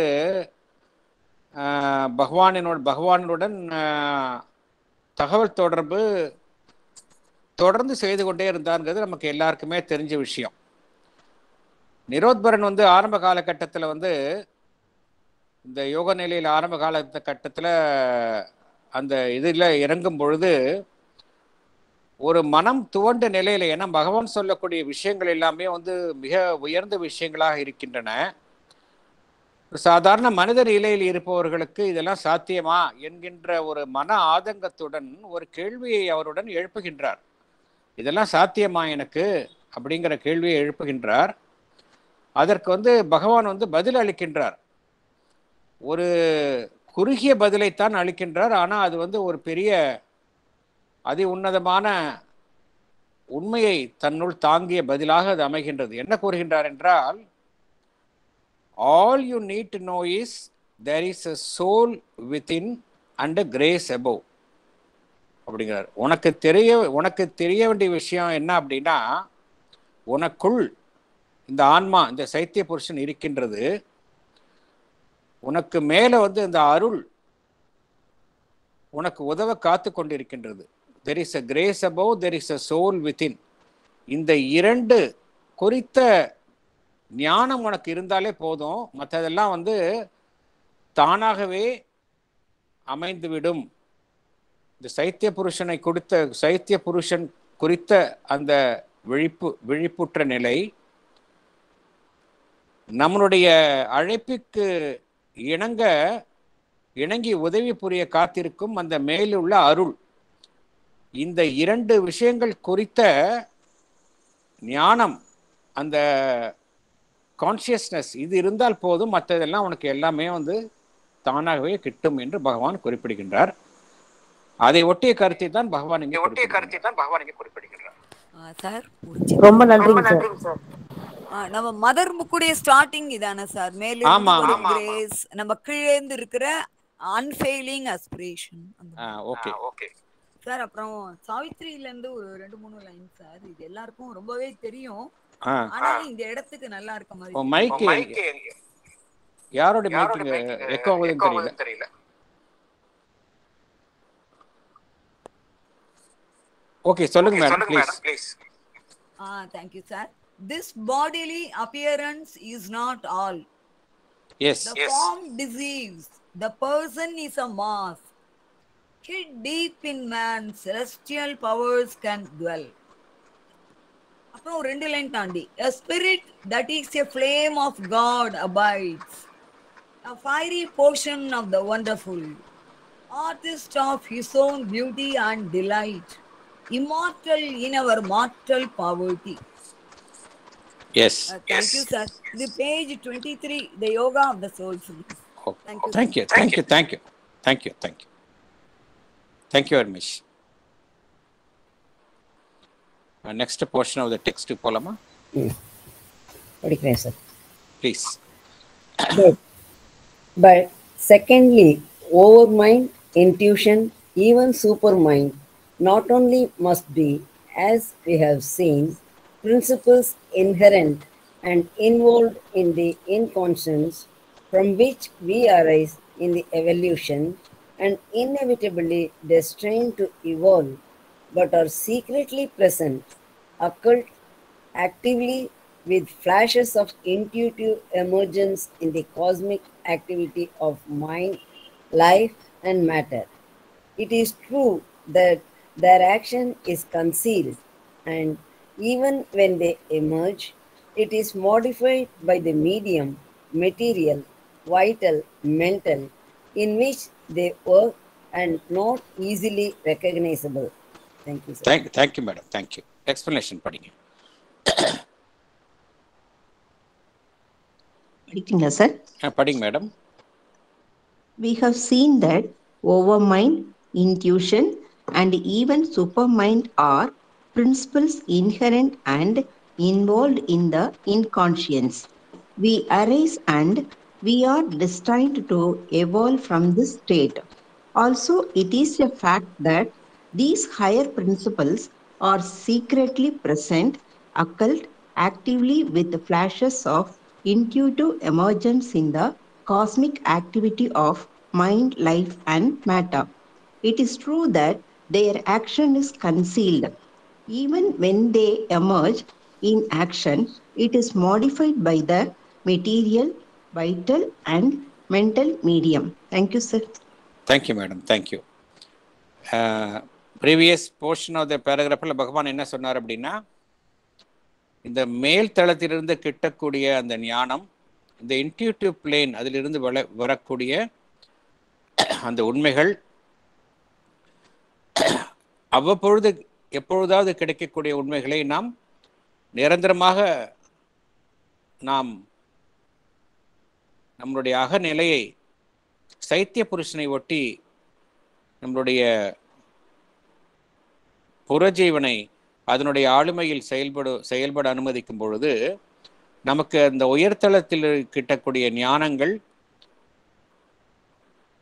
மீண்டும் மீண்டும் கிட்டக்கூடிய வாய்ப்பு இருக்கின்றது என்று பகவான் குறிப்பிடுகின்ற குறிப்பிட்டார். இரண்டாவது இது இதெல்லாமே வந்து பகவான் இந்த இந்த இந்த பேராகிராஃபினுடைய ஆரம்பத்தில் பார்த்தோம் அப்படின்னா என்ன கூறுகின்றார் என்றால் இந்த சச்சிதானந்தாவினுடைய அம்சங்கள் இறை அம்சங்கள் existence consciousness bliss overmind supermind இதெல்லாமே டிவைன் பிரின்சிபிள்ஸ் இல்லையா? சச்சிதானந்தா அப்புறம் ஓ சூப்பர் மைண்ட் அதை ஒட்டிய ஓவர் மைண்ட் இதெல்லாமே டிவைன் பிரின்சிபிள்ஸ் இதெல்லாமே மறைந்துள்ள நிலையில் இருக்கின்றன. என்று மறைந்துள்ள நிலையில் உள்ள இந்த இறை அம்சங்கள் வெ- கட்டாயம் வெளிப்பட்டாக வேண்டும் என்கின்ற கருத்தோட ப்ரீவியஸ் பேராகிராஃபை முடிச்சிருந்தார். பேராகிராஃப் ஃபிஃப்டீனை முடிச்சிருந்தார். இந்த மறைந்து மறை மறைந்த நிலையில் இருக்கக்கூடிய இந்த இறை விதி இந்த இறை அம்சங்கள் டிவைன் பிரின்சிபிள்ஸ் கட்டாயம் வந்து வெளிப்பட்டாக வேண்டும் என்று பகவான் கூறியிருந்தார் எவ்வாறு அந்த அத்தகைய அம்சங்களை வெளிப்படுத்துவது என்று குறிப்பிடும் பொழுது பகவான் இரண்டு விஷயங்களை குறிப்பிடுகின்றார். ஒன்று இரக்கம் டிசென்ட் டிசென்ட் என்றால் எது என்றால் இந்த ஆன்மீக மேல்தளங்கள் super mind over mind intuitive mind அதிலிருந்து தருவிக்கக்கூடிய தருவிக்கப்படக்கூடிய அந்த இரக்கம். இந்த இரக்கத்தின் மூலமாக எது நடைபெறுகின்றது என்றால் ஏற்கனவே மறைந்த நிலையில் உள்ள அந்த உயர் இயறை அம்சங்கள் வெளிக்கொணரப்படுகின்றன. ஸோ ஃபஸ்ட்டு வந்து இரக்கம். அதைத்தான் பகவான் என்ன கூறுகின்றார் என்றால் to things render that culmination more feasible feasible என்றால் ரொம்ப எளிது. மோர் ஃபெசைல்னா எளிதாக செயலாற்றக்கூடிய ஈஸி மேக்கிங் திங்ஸ் ஈஸின்னு அர்த்தம். Then it would otherwise be first வந்து இந்த டிசன்ட்டை குறித்து குறித்து குறிப்பிடுகின்றார். ஓவர் மைண்ட் அதில் அதிலிருந்து தருவிக்க தருவிக்கப்படக்கூடிய அந்த இரக்கம். அதில் அதன் மூலமாக உள் இருக்கக்கூடிய அந்த இறை அம்சங்களை வெளிப்படுத்துவது. இது ஃபஸ்ட்டு இரண்டாவது என்ன கூறினார்? அவ்வாறு வெளி ப- அவ்வாறு செயல்படுத்த வேண்டும் என்றால் நம்மளுடைய நம்மளுடைய செயல்பாடுகளை ஒரு இறை உண்மை அதன் அடிப்படையில் செயல்படுத்த வேண்டும். நம்மளுடைய சைத்திய புருஷனுடைய அதனுடைய செல்வாக்கில் செயல்படுத்தும் பொழுது நாம் இந்த மேலுள்ள அந்த உயர் ஞானத்திற்கு திறவாக நம்மை வைத்துக் கொள்கின்றோம். அதனுடன் அதனுடனான அந்த தொடர்பு நமக்கு வந்து மீண்டும் மீண்டும் கிட்டுகிறது என்ற கருத்தை கூறியிருந்தார். இப்போ இந்த போர்ஷனில் வந்து இரண்டாவது இரண்டாவது என்ன செய்ய வேண்டும் அப்படிங்கிறார். செகண்ட் ஃபர்ஸ்ட் வந்து அந்த இரக்கம். இரண்டாவதாக பகவான் என்ன கூறுகின்றார் என்றால் இந்த over mind intuition even super mind இதெல்லாமே விதிகள் தான். இதெல்லாம் வந்து மேல்தளங்களிலும் இருக்கின்றன. அதே போன்று இன்ஹரண்ட் ஒரு விஷயம் இருக்கு அப்படின்னா அதனோடவே இருக்கின்றது. இந்த உலகத்துல காண இந்த உலகத்துல காணக்கூடிய எல்லா விஷயங்களுக்கு பின்னாடி சூப்பர் மைண்ட் இருக்கின்றது. ஏனென்றால் நம்ம ஏற்கனவே பார்த்துருக்கோம். சூப்பர் மைண்ட் தான் வந்து எல்லாத்தையும் இந்த பிரபஞ்சத்தையே சிருஷ்டிக்கின்றது.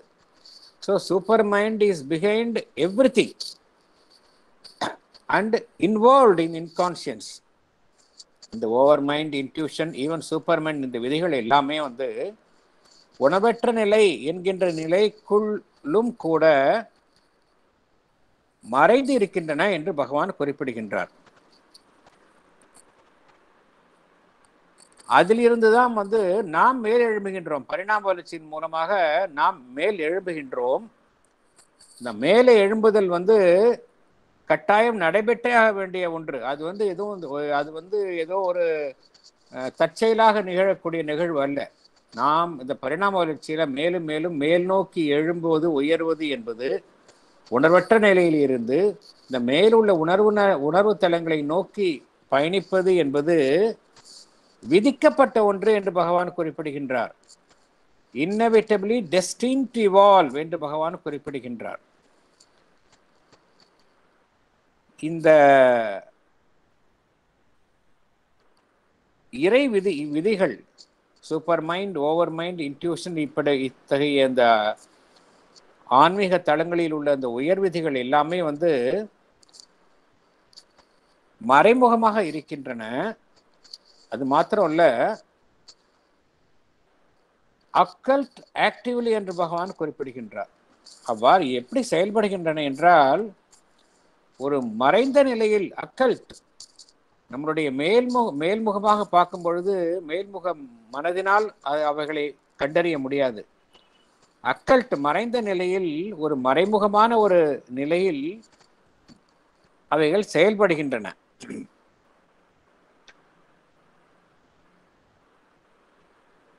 அவைகள் எப்படி செயல்படுகின்றன என்றால் எப்படி இந்த மேல் தளத்தில் இருந்து இந்த வெளிச்சம் வந்து ஒரு மின்னல் போன்று நமக்கு கிட்டுகின்றதோ கிட்டுகின்றதோ அதே போல மறைந்த இந்த இறை விதிகளும் கூட பகவான் என்ன கூறுகின்றார் என்றால் occult actively with flashes of intuitive emergence in the cosmic activity of mind, life and matter.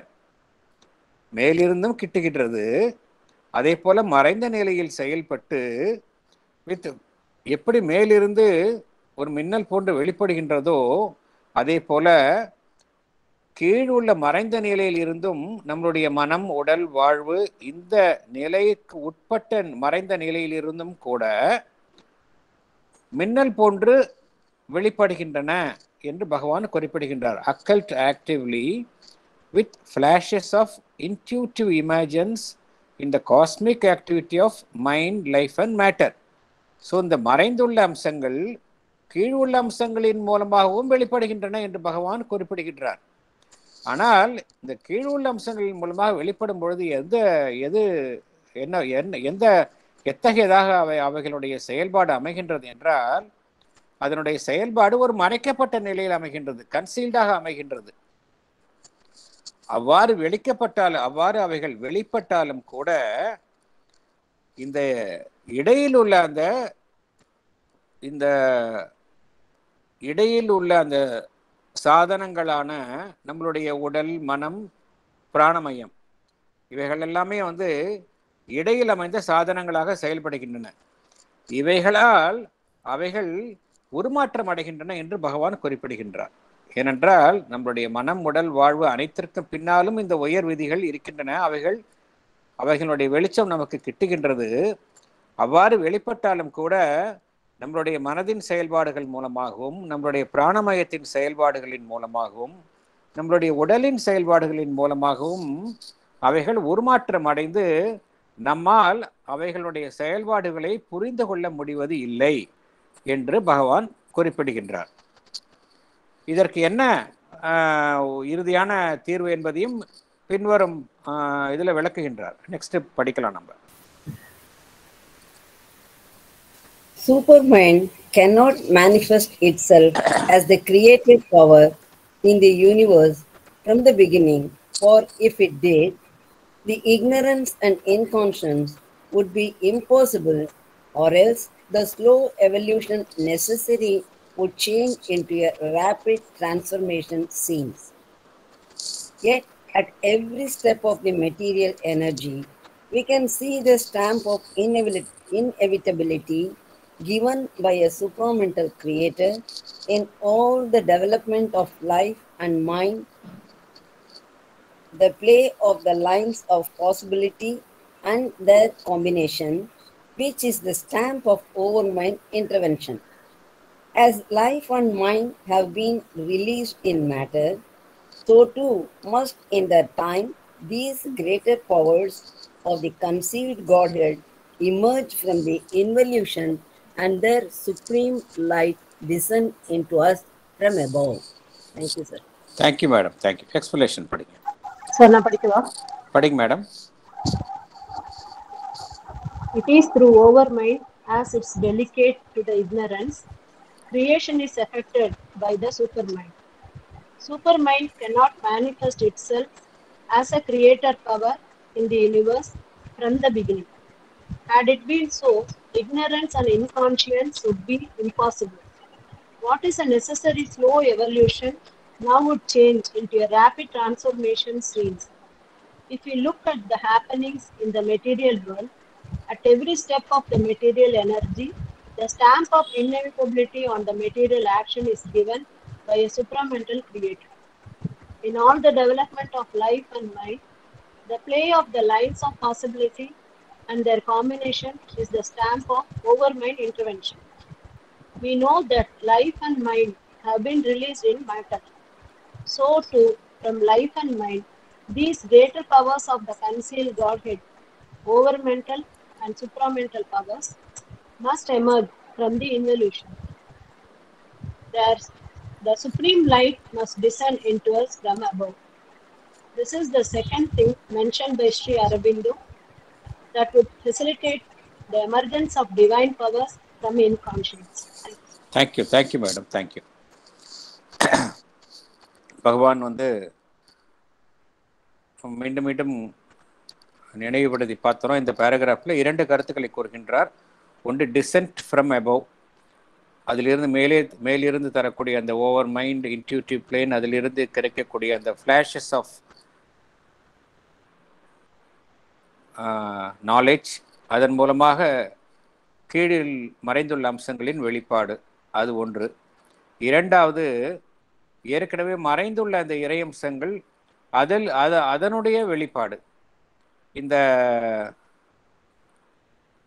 இந்த இரண்டு இந்த ஒன்று வந்து டிசென்ட் மற்றொன்று emergence descent from above emergence from within இந்த இரண்டு அம்சங்களின் மூலமாகத்தான் இந்த இறை அம்சங்களில் ஏற்கனவே இந்த உயர் உயர் இறை அம்சங்கள் மறைந்துள்ள இறை அம்சங்களின் வெளிப்பாடு இந்த பிரபஞ்சத்தில் சாத்தியமாகின்றது என்று பகவான் குறிப்பிடுகின்றார்.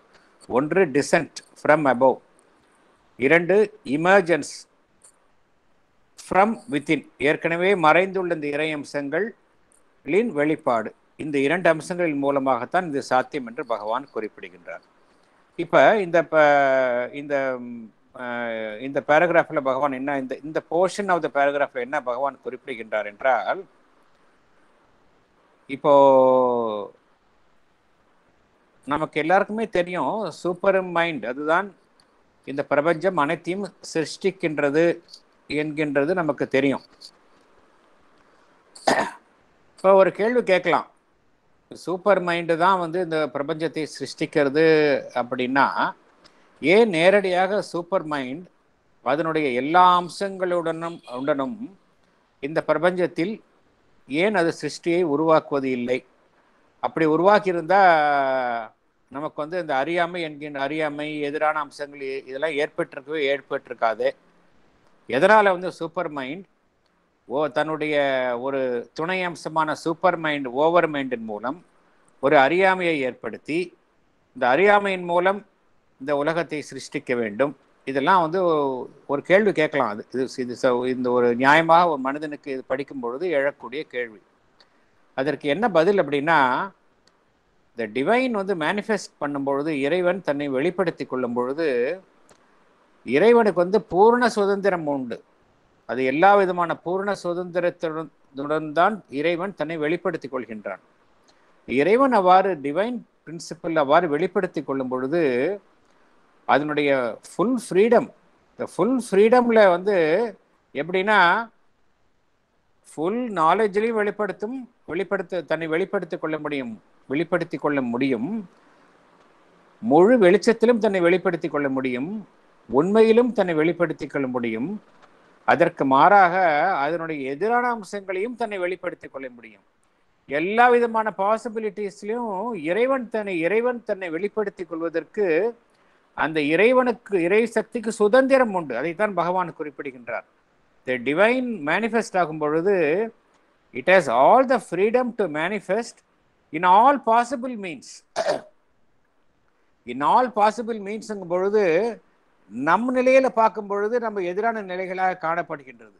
அது டிவைன் இதில் பார்த்தோம் அப்படின்னா ஹீ அவரோ divine is divine is expressing self both in consciousness as in inconscience that is is டிவைனுடைய freedom அவ்வளோதான் இதுக்கு சொல்ல சொல்ல முடியுமே ஒழிய நம்ம ஏன் நேரடியாக அதே அம்சத்துடன் வெளிப்படுத்திக் கொள்ள வெளிப்படுத்திக் கொள்ளவில்லை என்கின்ற கேள்வியை நாம் கேட்க முடியாது.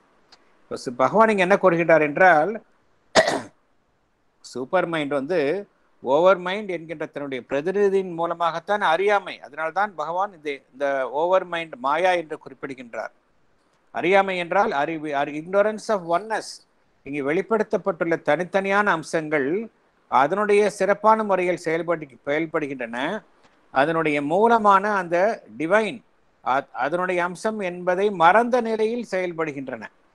இக்னோரன்ஸ் ஓவர் மைண்டன் ஓவர் மைண்டன் மூலமாக இது இது நடைபெறும் பொழுது பொழுதுதான் இது சாத்தியமாகின்றது. சூப்பர் மைண்டின் மூலமாக நேரடியாக இது நடைபெற்றால் இது சாத்தியம் இல்லை. அதனால் தான் பகவான் கூறி என்ன கூறுகின்றார் என்றால் supermind cannot manifest itself as a creator power in the universe from the beginning அப்படிங்கிறார். For if it did ignorance and inconscience would be impossible or else the slow evolution necessary அதாவது இந்த ஸ்லோ இவல்யூஷன் வந்து தவிர்க்க முடியாத ஒன்று அப்படிங்கிறார் Bhagavan. Would change into rapid transformation seen இந்த இந்த மெல்ல மெல்ல நடைபெறும் பரிணாம வளர்ச்சி என்பது ஒரு தேவையான ஒன்று. இந்த உலகத்தில் வந்து தேவையான அம்சம். என்று பகவான் குறிப்பிடுகின்றார். நேரடியாக சூப்பர் மைண்ட் வந்து இந்த கிரியேஷனில் ஈடுபட்ட என்ன நடக்கும் என்றால் இதுக்கெல்லாம் அவசியம் இல்லாமல் போய்விடும். ஏன் அவசியம் என்றால் தட் இஸ் டிவைன் ஃப்ரீடம் இருந்தாலும் கூட பகவான் என்ன கூறுகின்றார் என்றால் இந்த உலகத்தில் முக்கியமான கருத்து இதில். பகவான் கூறக்கூடிய இந்த பேராகிராஃபில் முக்கியமான கருத்து. என்ன கூறுகின்றார் என்றால் நேரடியாக சூப்பர் மைண்ட் தன்னை வெளிப்படுத்த முடியாவிட்டாலும் கூட நேரடியாக அது சிருஷ்டியை ஏற்படுத்தவிட்டாலும் கூட பகவான் என்ன கூறுகின்றார் என்றால் இந்த உலகத்தில் நடக்கக்கூடிய அந்த சட மெட்டீரியல் வேர்ல்டு சட உலகில் நடக்கக்கூடிய ஒவ்வொரு அடியும் ஒவ்வொரு நிகழ்வும் வந்து இங்கே பகவான் என்ன குறிப்பிடு குறிப்பிடுகின்றார் என்றால் அவருடைய வார்த்தையிலே பார்க்கலாம். At Ed at every step of the material energy we can see the stamp of inevitability given by a supramental creator அப்படிங்கிறார். என்ன அர்த்தம் அப்படின்னா at every step of the material energy we can see the stamp of inevitability இந்த இந்த சட உலகில் செயல்படக்கூடிய அனைத்துமே எல்லாமே எல்லாற்றுக்கும் ஒரு விதி இருக்கின்றது. கிராவிடேஷன் எடுத்துக்கிட்டோம்னா ஒரு கிராவிடேஷனல் லா இருக்கின்றது. அதே போல நிறைய there are so many natural laws physical laws governing the universe இந்த பிசிக்கல் லாஸ் இருக்கின்றது இருக்கின்றது அல்லவா? இந்த மெட்டீரியல் வேர்ல்டில் நடக்கக்கூடிய விதிகள். இந்த விதிகள் நம்ம சயின்ஸில் படிக்கிறோம் இந்த அதனுடைய எப்படி இந்த விதிகள்லாம் எப்படி செயல்படுகின்றன என்பதை தான் நம்ம சயின்ஸில் படிக்கின்றோம். இந்த விதிகளை எல்லாம் உருவாக்கியது யாருன்னு பார்த்தா அது சூப்பர் மைண்ட் அதைத்தான் பகவான் குறிப்பிடுகின்றார். சூப்பர் மைண்டு நேரடியாக இந்த உலகத்தை சிருஷ்டிக்காவிட்டாலும் கூட இந்த உலகத்தில் நடக்கக்கூடிய ஈவன் சடநிலையில் நடக்கக்கூடிய ஒவ்வொரு நிகழ்வுக்கும் பின்னால் சூப்பர் மைண்ட் இருக்கின்றது என்கின்ற கருத்தை பகவான் குறிப்பிடுகின்றார். At every step of the material energy the stamp of innovate inevitability அப்படி என்ன அர்த்தம்? இது இப்படி நடக்கணும் அப்படின்னா நடந்தே ஆகணும். அது யார் தீர்மானிக்கிறது அப்படின்னா அந்த supermind. Given by the supramental creator அப்படிங்கிறாரு. இது வந்து மெட்டீரியல் லெவலில் அதுக்கு அடுத்தது பார்த்தோம் அப்படின்னா கொஞ்சம் அடுத்த நிலையில பார்த்தோன்னா மைண்ட் அண்ட் லைஃப் வந்துடுது இந்த மைண்ட் அண்ட் லைஃப் வந்து எகைன் மைண்ட் அண்ட் லைஃப் வந்து அறியாமையில் செயல்படுவது மாதிரி நமக்கு தோணுகின் தோன்றினாலும் கூட அதற்கு பின்னால் எந்த இறைவிதி செயல்படுகின்றது என்றால் அது ஓவர் மைண்ட் அதைத்தான் பகவான் குறிப்பிடுகின்றார். இந்த development of life and mind the play of the lines of possibility and their combination is a stamp of overmind intervention so நம்ம இந்த உலகத்தில் வந்து சூப்பர் மைண்ட் நேரடியாக தோற்றுவிக்கா இந்த உலகத்தை தோ சிருஷ்டியை தோற்றுவிக்க விக்காவிட்டாலும் கூட அதனுடைய மறைமுகமான செயல்பாடு இந்த சட உலகில் நடக்கக்கூடிய ஒவ்வொரு விஷயத்திற்கு பின்னாலும் இருக்கின்றது என்று பகவான் குறிப்பிடுகின்றார். ஆனால் நாம நம்ம உலகத்துல பார்க்கக்கூடிய விஷயங்கள் நமக்கு புரியவே புரியாது. ஏன் நடக்கின்றது என்பதை நம் மனதினால் அறிய அறிந்து கொள்ள முடியாது. ஆனால் அதற்கு பின்னால் அந்த சூப்பர் மைண்டினுடைய விதி இருக்கின்றது என்று பகவான் குறிப்பிடுகின்றார். இன்னவெட்டபிலிட்டி அது. ஸ்டாம்ப் ஆஃப் இன்னவெட்டபிலிட்டி நடந்தே ஆக வேண்டும். அது அதை தீர்மானிப்பது சூப்பர் மைண்ட் அதே போல் நம்மளுடைய வாழ்வு மனம் அதனுடைய வளர்ச்சியிலும் பார்த்தோம் அப்படின்னா எந்த வகையில் நம்ம வாழ்வு செயல்பட வேண்டும் எந்த வகையில் வந்து நம்மளுடைய மனம் விரிவடை வேண்டும் என்பதை எது தீர்மானிக்கின்றது என்றால் இந்த overmind stamp of overmind inter intervention இதெல்லாம் மறைந்த நிலையில் செயல்படுகின்றன. ஏற்கனவே பார்த்தோம் ஏன் மறைந்த நிலையில் செயல்பட்டாலும் அந்த அதனுடைய செயல்பாடுனுடைய முழு வீச்சை நாம் உணர்வதில்லை என்றால் நம்மளுடைய மனதின் குறு நம்மளுடைய சர்ஃபேஸ் மைண்ட் அதனுடைய குறுக்கீடு பிராணமயத்தின் குறுக்கீடு உடலின் குறுக்கீடுனால இது மாதிரி நடைபெறுகின்றது. நம்மளுடைய இந்த சட சடப்பொருளில் இருந்து தான் வந்து வாழ்வும் மனமும் வெளிப்பட்டு வெளிப்பட வெளிப்பட்டது. இல்லையா? அதே போல பகவான் இங்கே என்ன கூறுகின்றார் என்றால் இந்த வெளிப்பட்ட ஏற்கனவே வெளிப்பட்ட வாழ்வு மனம் என்பதில் இருந்து அதனுள் மறைந்துள்ள அந்த இறை சக்திகள் over mental and super mental powers the concealed godhead என்று பகவான் குறிப்பிடும் இந்த இரண்டு சக்திகளை தான் பகவான் குறிப்பிடுகின்றார். Must emerge in the evolution இது வந்து must emerge from the involution ஏற்கனவே இரக்கம் கொண்டுள்ள நிலையில் அவைகள் இருக்கின்றன. அதில் இருந்து அவைகள் வெளிப்பட்டே ஆக வேண்டும் என்று பகவான் குறிப்பிடுகின்றார் தேர் சுப்ரீம் லைட் இவைகளினுடைய மேல் தளத்தில் இருந்து இவைகளினுடைய வெளிச்சமும் கீழே இறக்கம் கொள்ளா கொண்டாக கொண்டாக வேண்டும் என்று பகவான் குறிப்பிடுகின்றார். ஆகையால இந்த இரண்டு விஷயங்களின் மூலமாக மேலிருந்து தெரிவிக்கப்படும் இரக்கம் உள்ளிருக்கக்கூடிய விஷயங்களின் வெளிப்பாடு. இவைகளின் மூலமாகத்தான் இந்த இறை அம்சங்கள் Sachchidananda super mind over mind இந்த அம்சங்களினுடைய வெளிப்பாடு இந்த பிரபஞ்சத்தில் நடக்க வேண்டும் என்கின்ற கருத்தை பகவான் குறிப்பிடுகின்றார்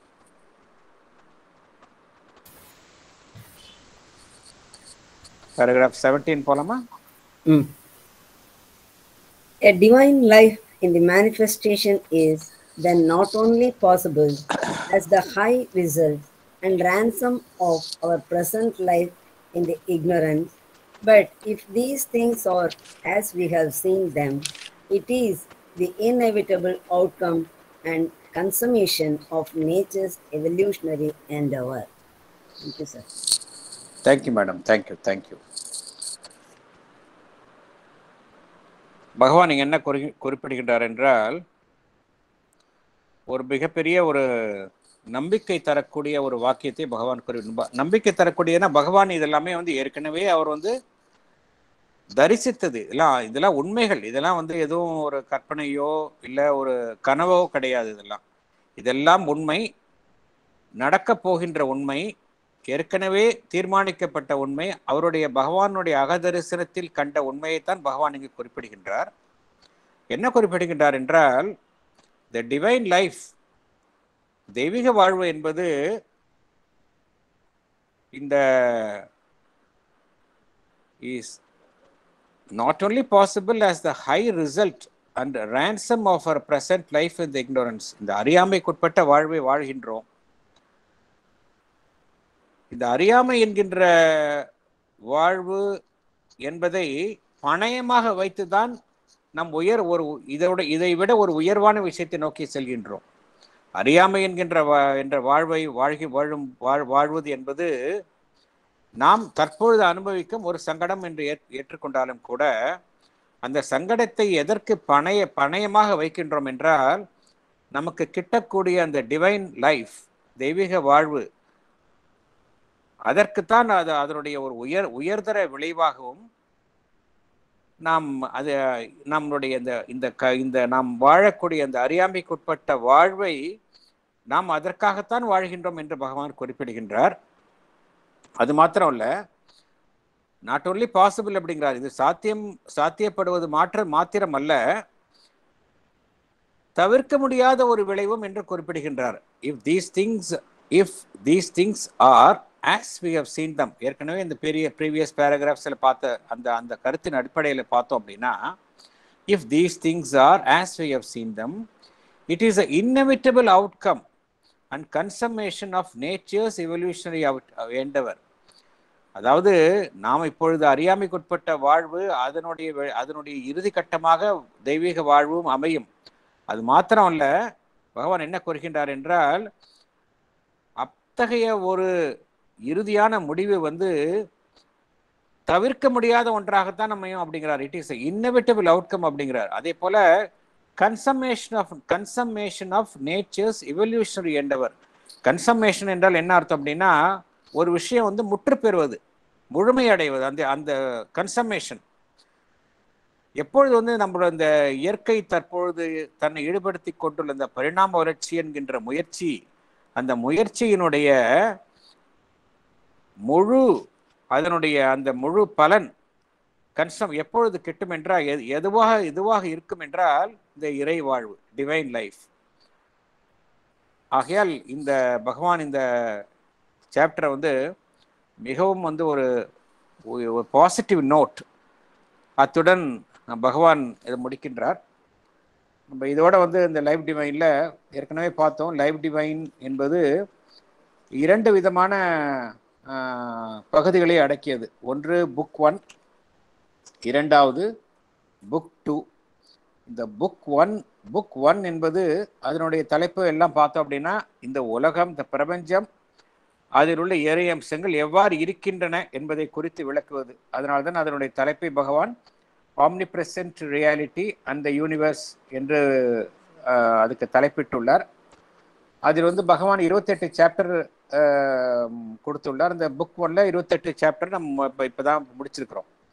இந்த புக் டூவில் பார்த்தோம் அப்படின்னா இந்த புக் டூவில் வந்து ஏற்கனவே புக் ஒன் வந்து எந்த தலைப்பு என்றால் omnipresent reality and the universe என்ன அந்த இறை மெய்மை எவ்வாறு இருக்கின்றது பிரபஞ்சம் எவ்வாறு இருக்கின்றது ஆசிஸ் வேரிஸ் எப்படி இருக்கின்றதோ அதை விரிவித்துள்ள அதை பகவான் விரிவாக விளக்கியுள்ளார். இந்த புக் டூவில் வந்து பகவானை கூறு கூற போவது என்ன என்றால் the knowledge and ignorance spiritual evolution எவ்வாறு இந்த ஆன்மீக வெளிப்பாடு?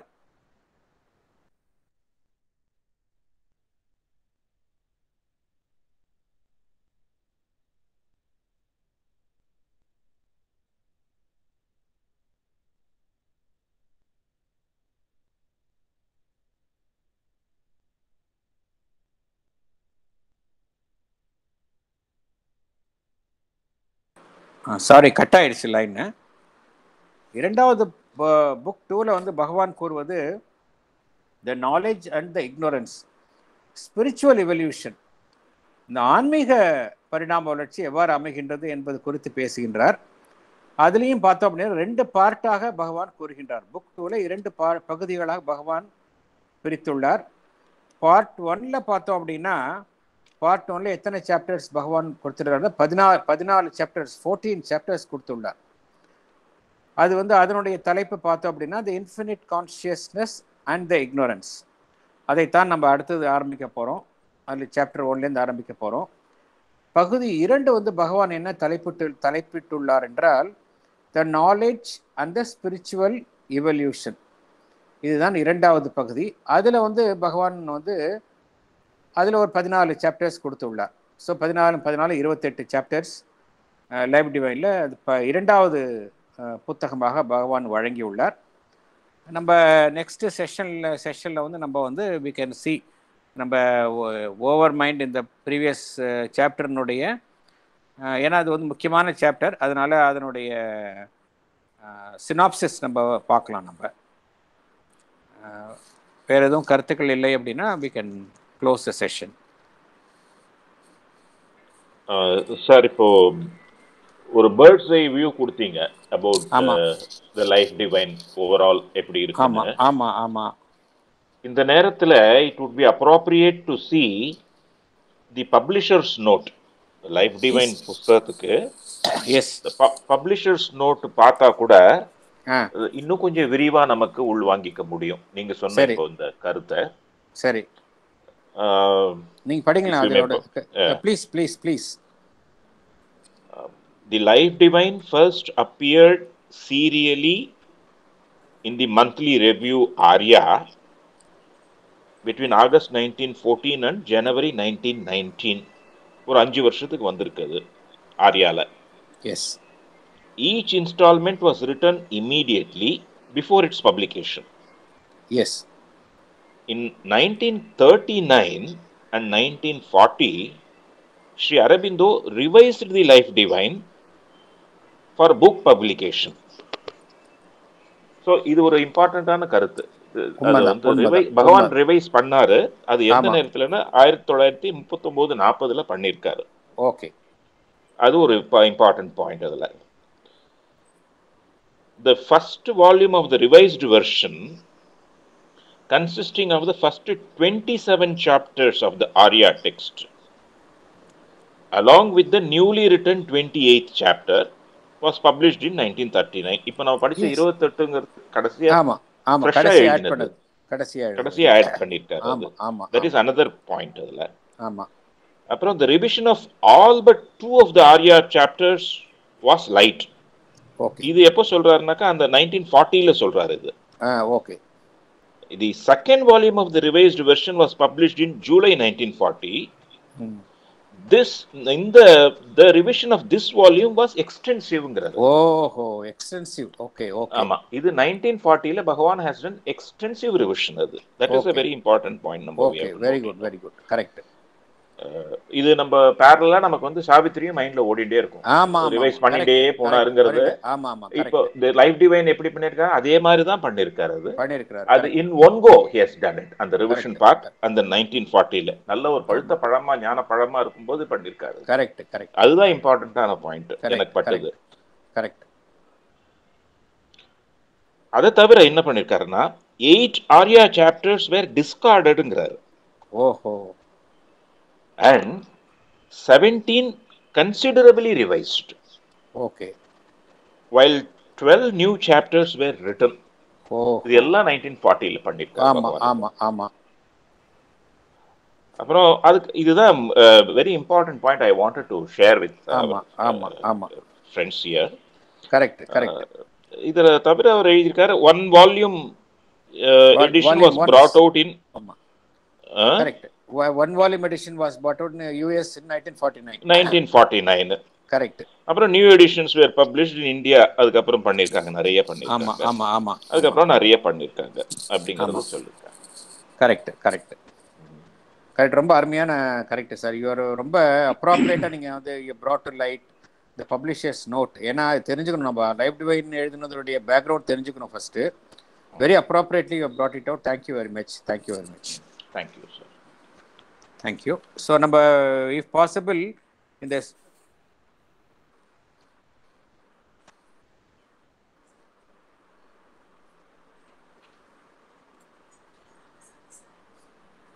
சார் வேற யாராவது எம்கே ராமசாமி சொல்ல வரீங்களா ஏதாவது? ஆமா ஒரு பாயிண்ட் ஆ சொல்லுங்க sir please we go to paragraph 16 the last portion. Ah. as life and mind have been released in matter ஆ அப்படின்னா it has been done by over mind அப்படின்னு அசியூம் பண்ணலாம்ல ஆ as ஆ, life ஆமா and ஆமா mind as have been yes yes has been released have, have been released in matter yes yes they That is ஆமா, done by has over been- mind. ha- has been brought out from matter by the over mind yes it is released in matter brought out or hidden in matter இல்ல it was hidden in matter that was brought out. Okay as life and mind had been released that is Ha- from have been- matter now. ஆமா matter matter மேட்டருக்குள்ள first வந்து what Sri Aurobindo says is that when the involution took place various ஸ்டேஜஸ்ல involve ஆகி involve ஆச்சு. Then when the emergence when the evolution took place the first one Was to come out was the matter first one was matter மேட்டருக்குள்ளவே ஏற்கனவே mind and life was involved so then life came out then mind came out All right. Okay. Then, so too must be there in their time these greater powers of the concealed Godhead emerge from the involution. Therefore, they are also in the in the, incon- Ama. in the involution stage. They are also down. ஆமா ஆமா Right. Super mind When they emerge, then how can the su- they emerge? Where, from where can the supreme light descend into us from above? They once again go up, is it? ஆமா அதாவது as life and mind have been released in matter so too must in that Right. time these greater powers of the concealed godhead என்று பகவான் கூறுவது super mind concealed Super. Godhead emerge from the involution. Involution and the greater powers of the concealed Godhead must emerge from the involution, and their supreme light descend into us from above. இந்த இரண்டுமே Right. பேரலா நடக்கணும் அப்படிங்கிறார் what Sri Aurobindo says the super supramental light from above has to has to be brought down and the concealed supramental consciousness has to evolve ரெண்டுமே நடக்கும் பொழுது நடக்கணும் அப்படிங்கிறாங்க There is there has to be a supporting um, supporting descent from above there has to be an uh, with the support of that uh, descent there has to be a emergence from below that is வை பகவான் வந்து சொல்றாரு there should be a supporting active consciousness இருந்தால் தான் ஏற்கனவே உள்ள இருக்கிறது வெளியில வந்து செயல்படும் அப்படிங்கிறாரு that is why mother and ஷியார்பிந்தோ brought out the supramental light uh, in Right. 1956 because of this reason only it was brought out Right. when, That something, when means, something has to when something has to emerge from inside there has to be something something has to descend from above to put pressure on something inside இது வந்து நம்ம previous சாப்டர்லையும் பார்த்துருக்கோம் what Bhagavan says is that when there is a descent from above it puts a pressure on something which is already involved inside to come out அப்படிங்கிறார் it puts a pressure on them pressure அப்படிங்கிறார் right, right. Which means, when the Ah. concealed Godhead emerged from the involution, the supreme light, which is already in its own plane, yeah descends from us. Is that the proper understanding? Ye- yes, yes. Supreme light is already there, descend from uh, into us from above. Above. All right. Okay. Thank you. இந்த இந்த upper plane and இன்வால்வ்டா இன்வால்வ்டா இருக்கிறதும் இன்வால்வ்டா இருக்கிறதும் higher பிளேன்ல இருக்கிறதும் ரெண்டுமே higher பிளேன்ல இருக்கிறதும் ரெண்டுமே வந்து பேரலனான்னு இருக்கக்கூடிய அம்சங்கள் அதே போல Right. வரக்கூடிய வரக்கூடிய டிசென்ட்டும் உள்ளே இருக்கக்கூடிய அதனுடைய இமேஜன்ஸும் பேரலாக நடைபெறக்கூடிய ஈவென்ட்ஸ். அம்சங்கள். ரியாலிட்டிஸ் அண்ட் ஃபினாமினன் இது ரெண்டுமே. பேரலல் ஃபினாமினா நடக்கக்கூடியவை அப்படிங்கிறார் பகவான். Thank you. Thank you. Okay sir thank you sir thank you shall we close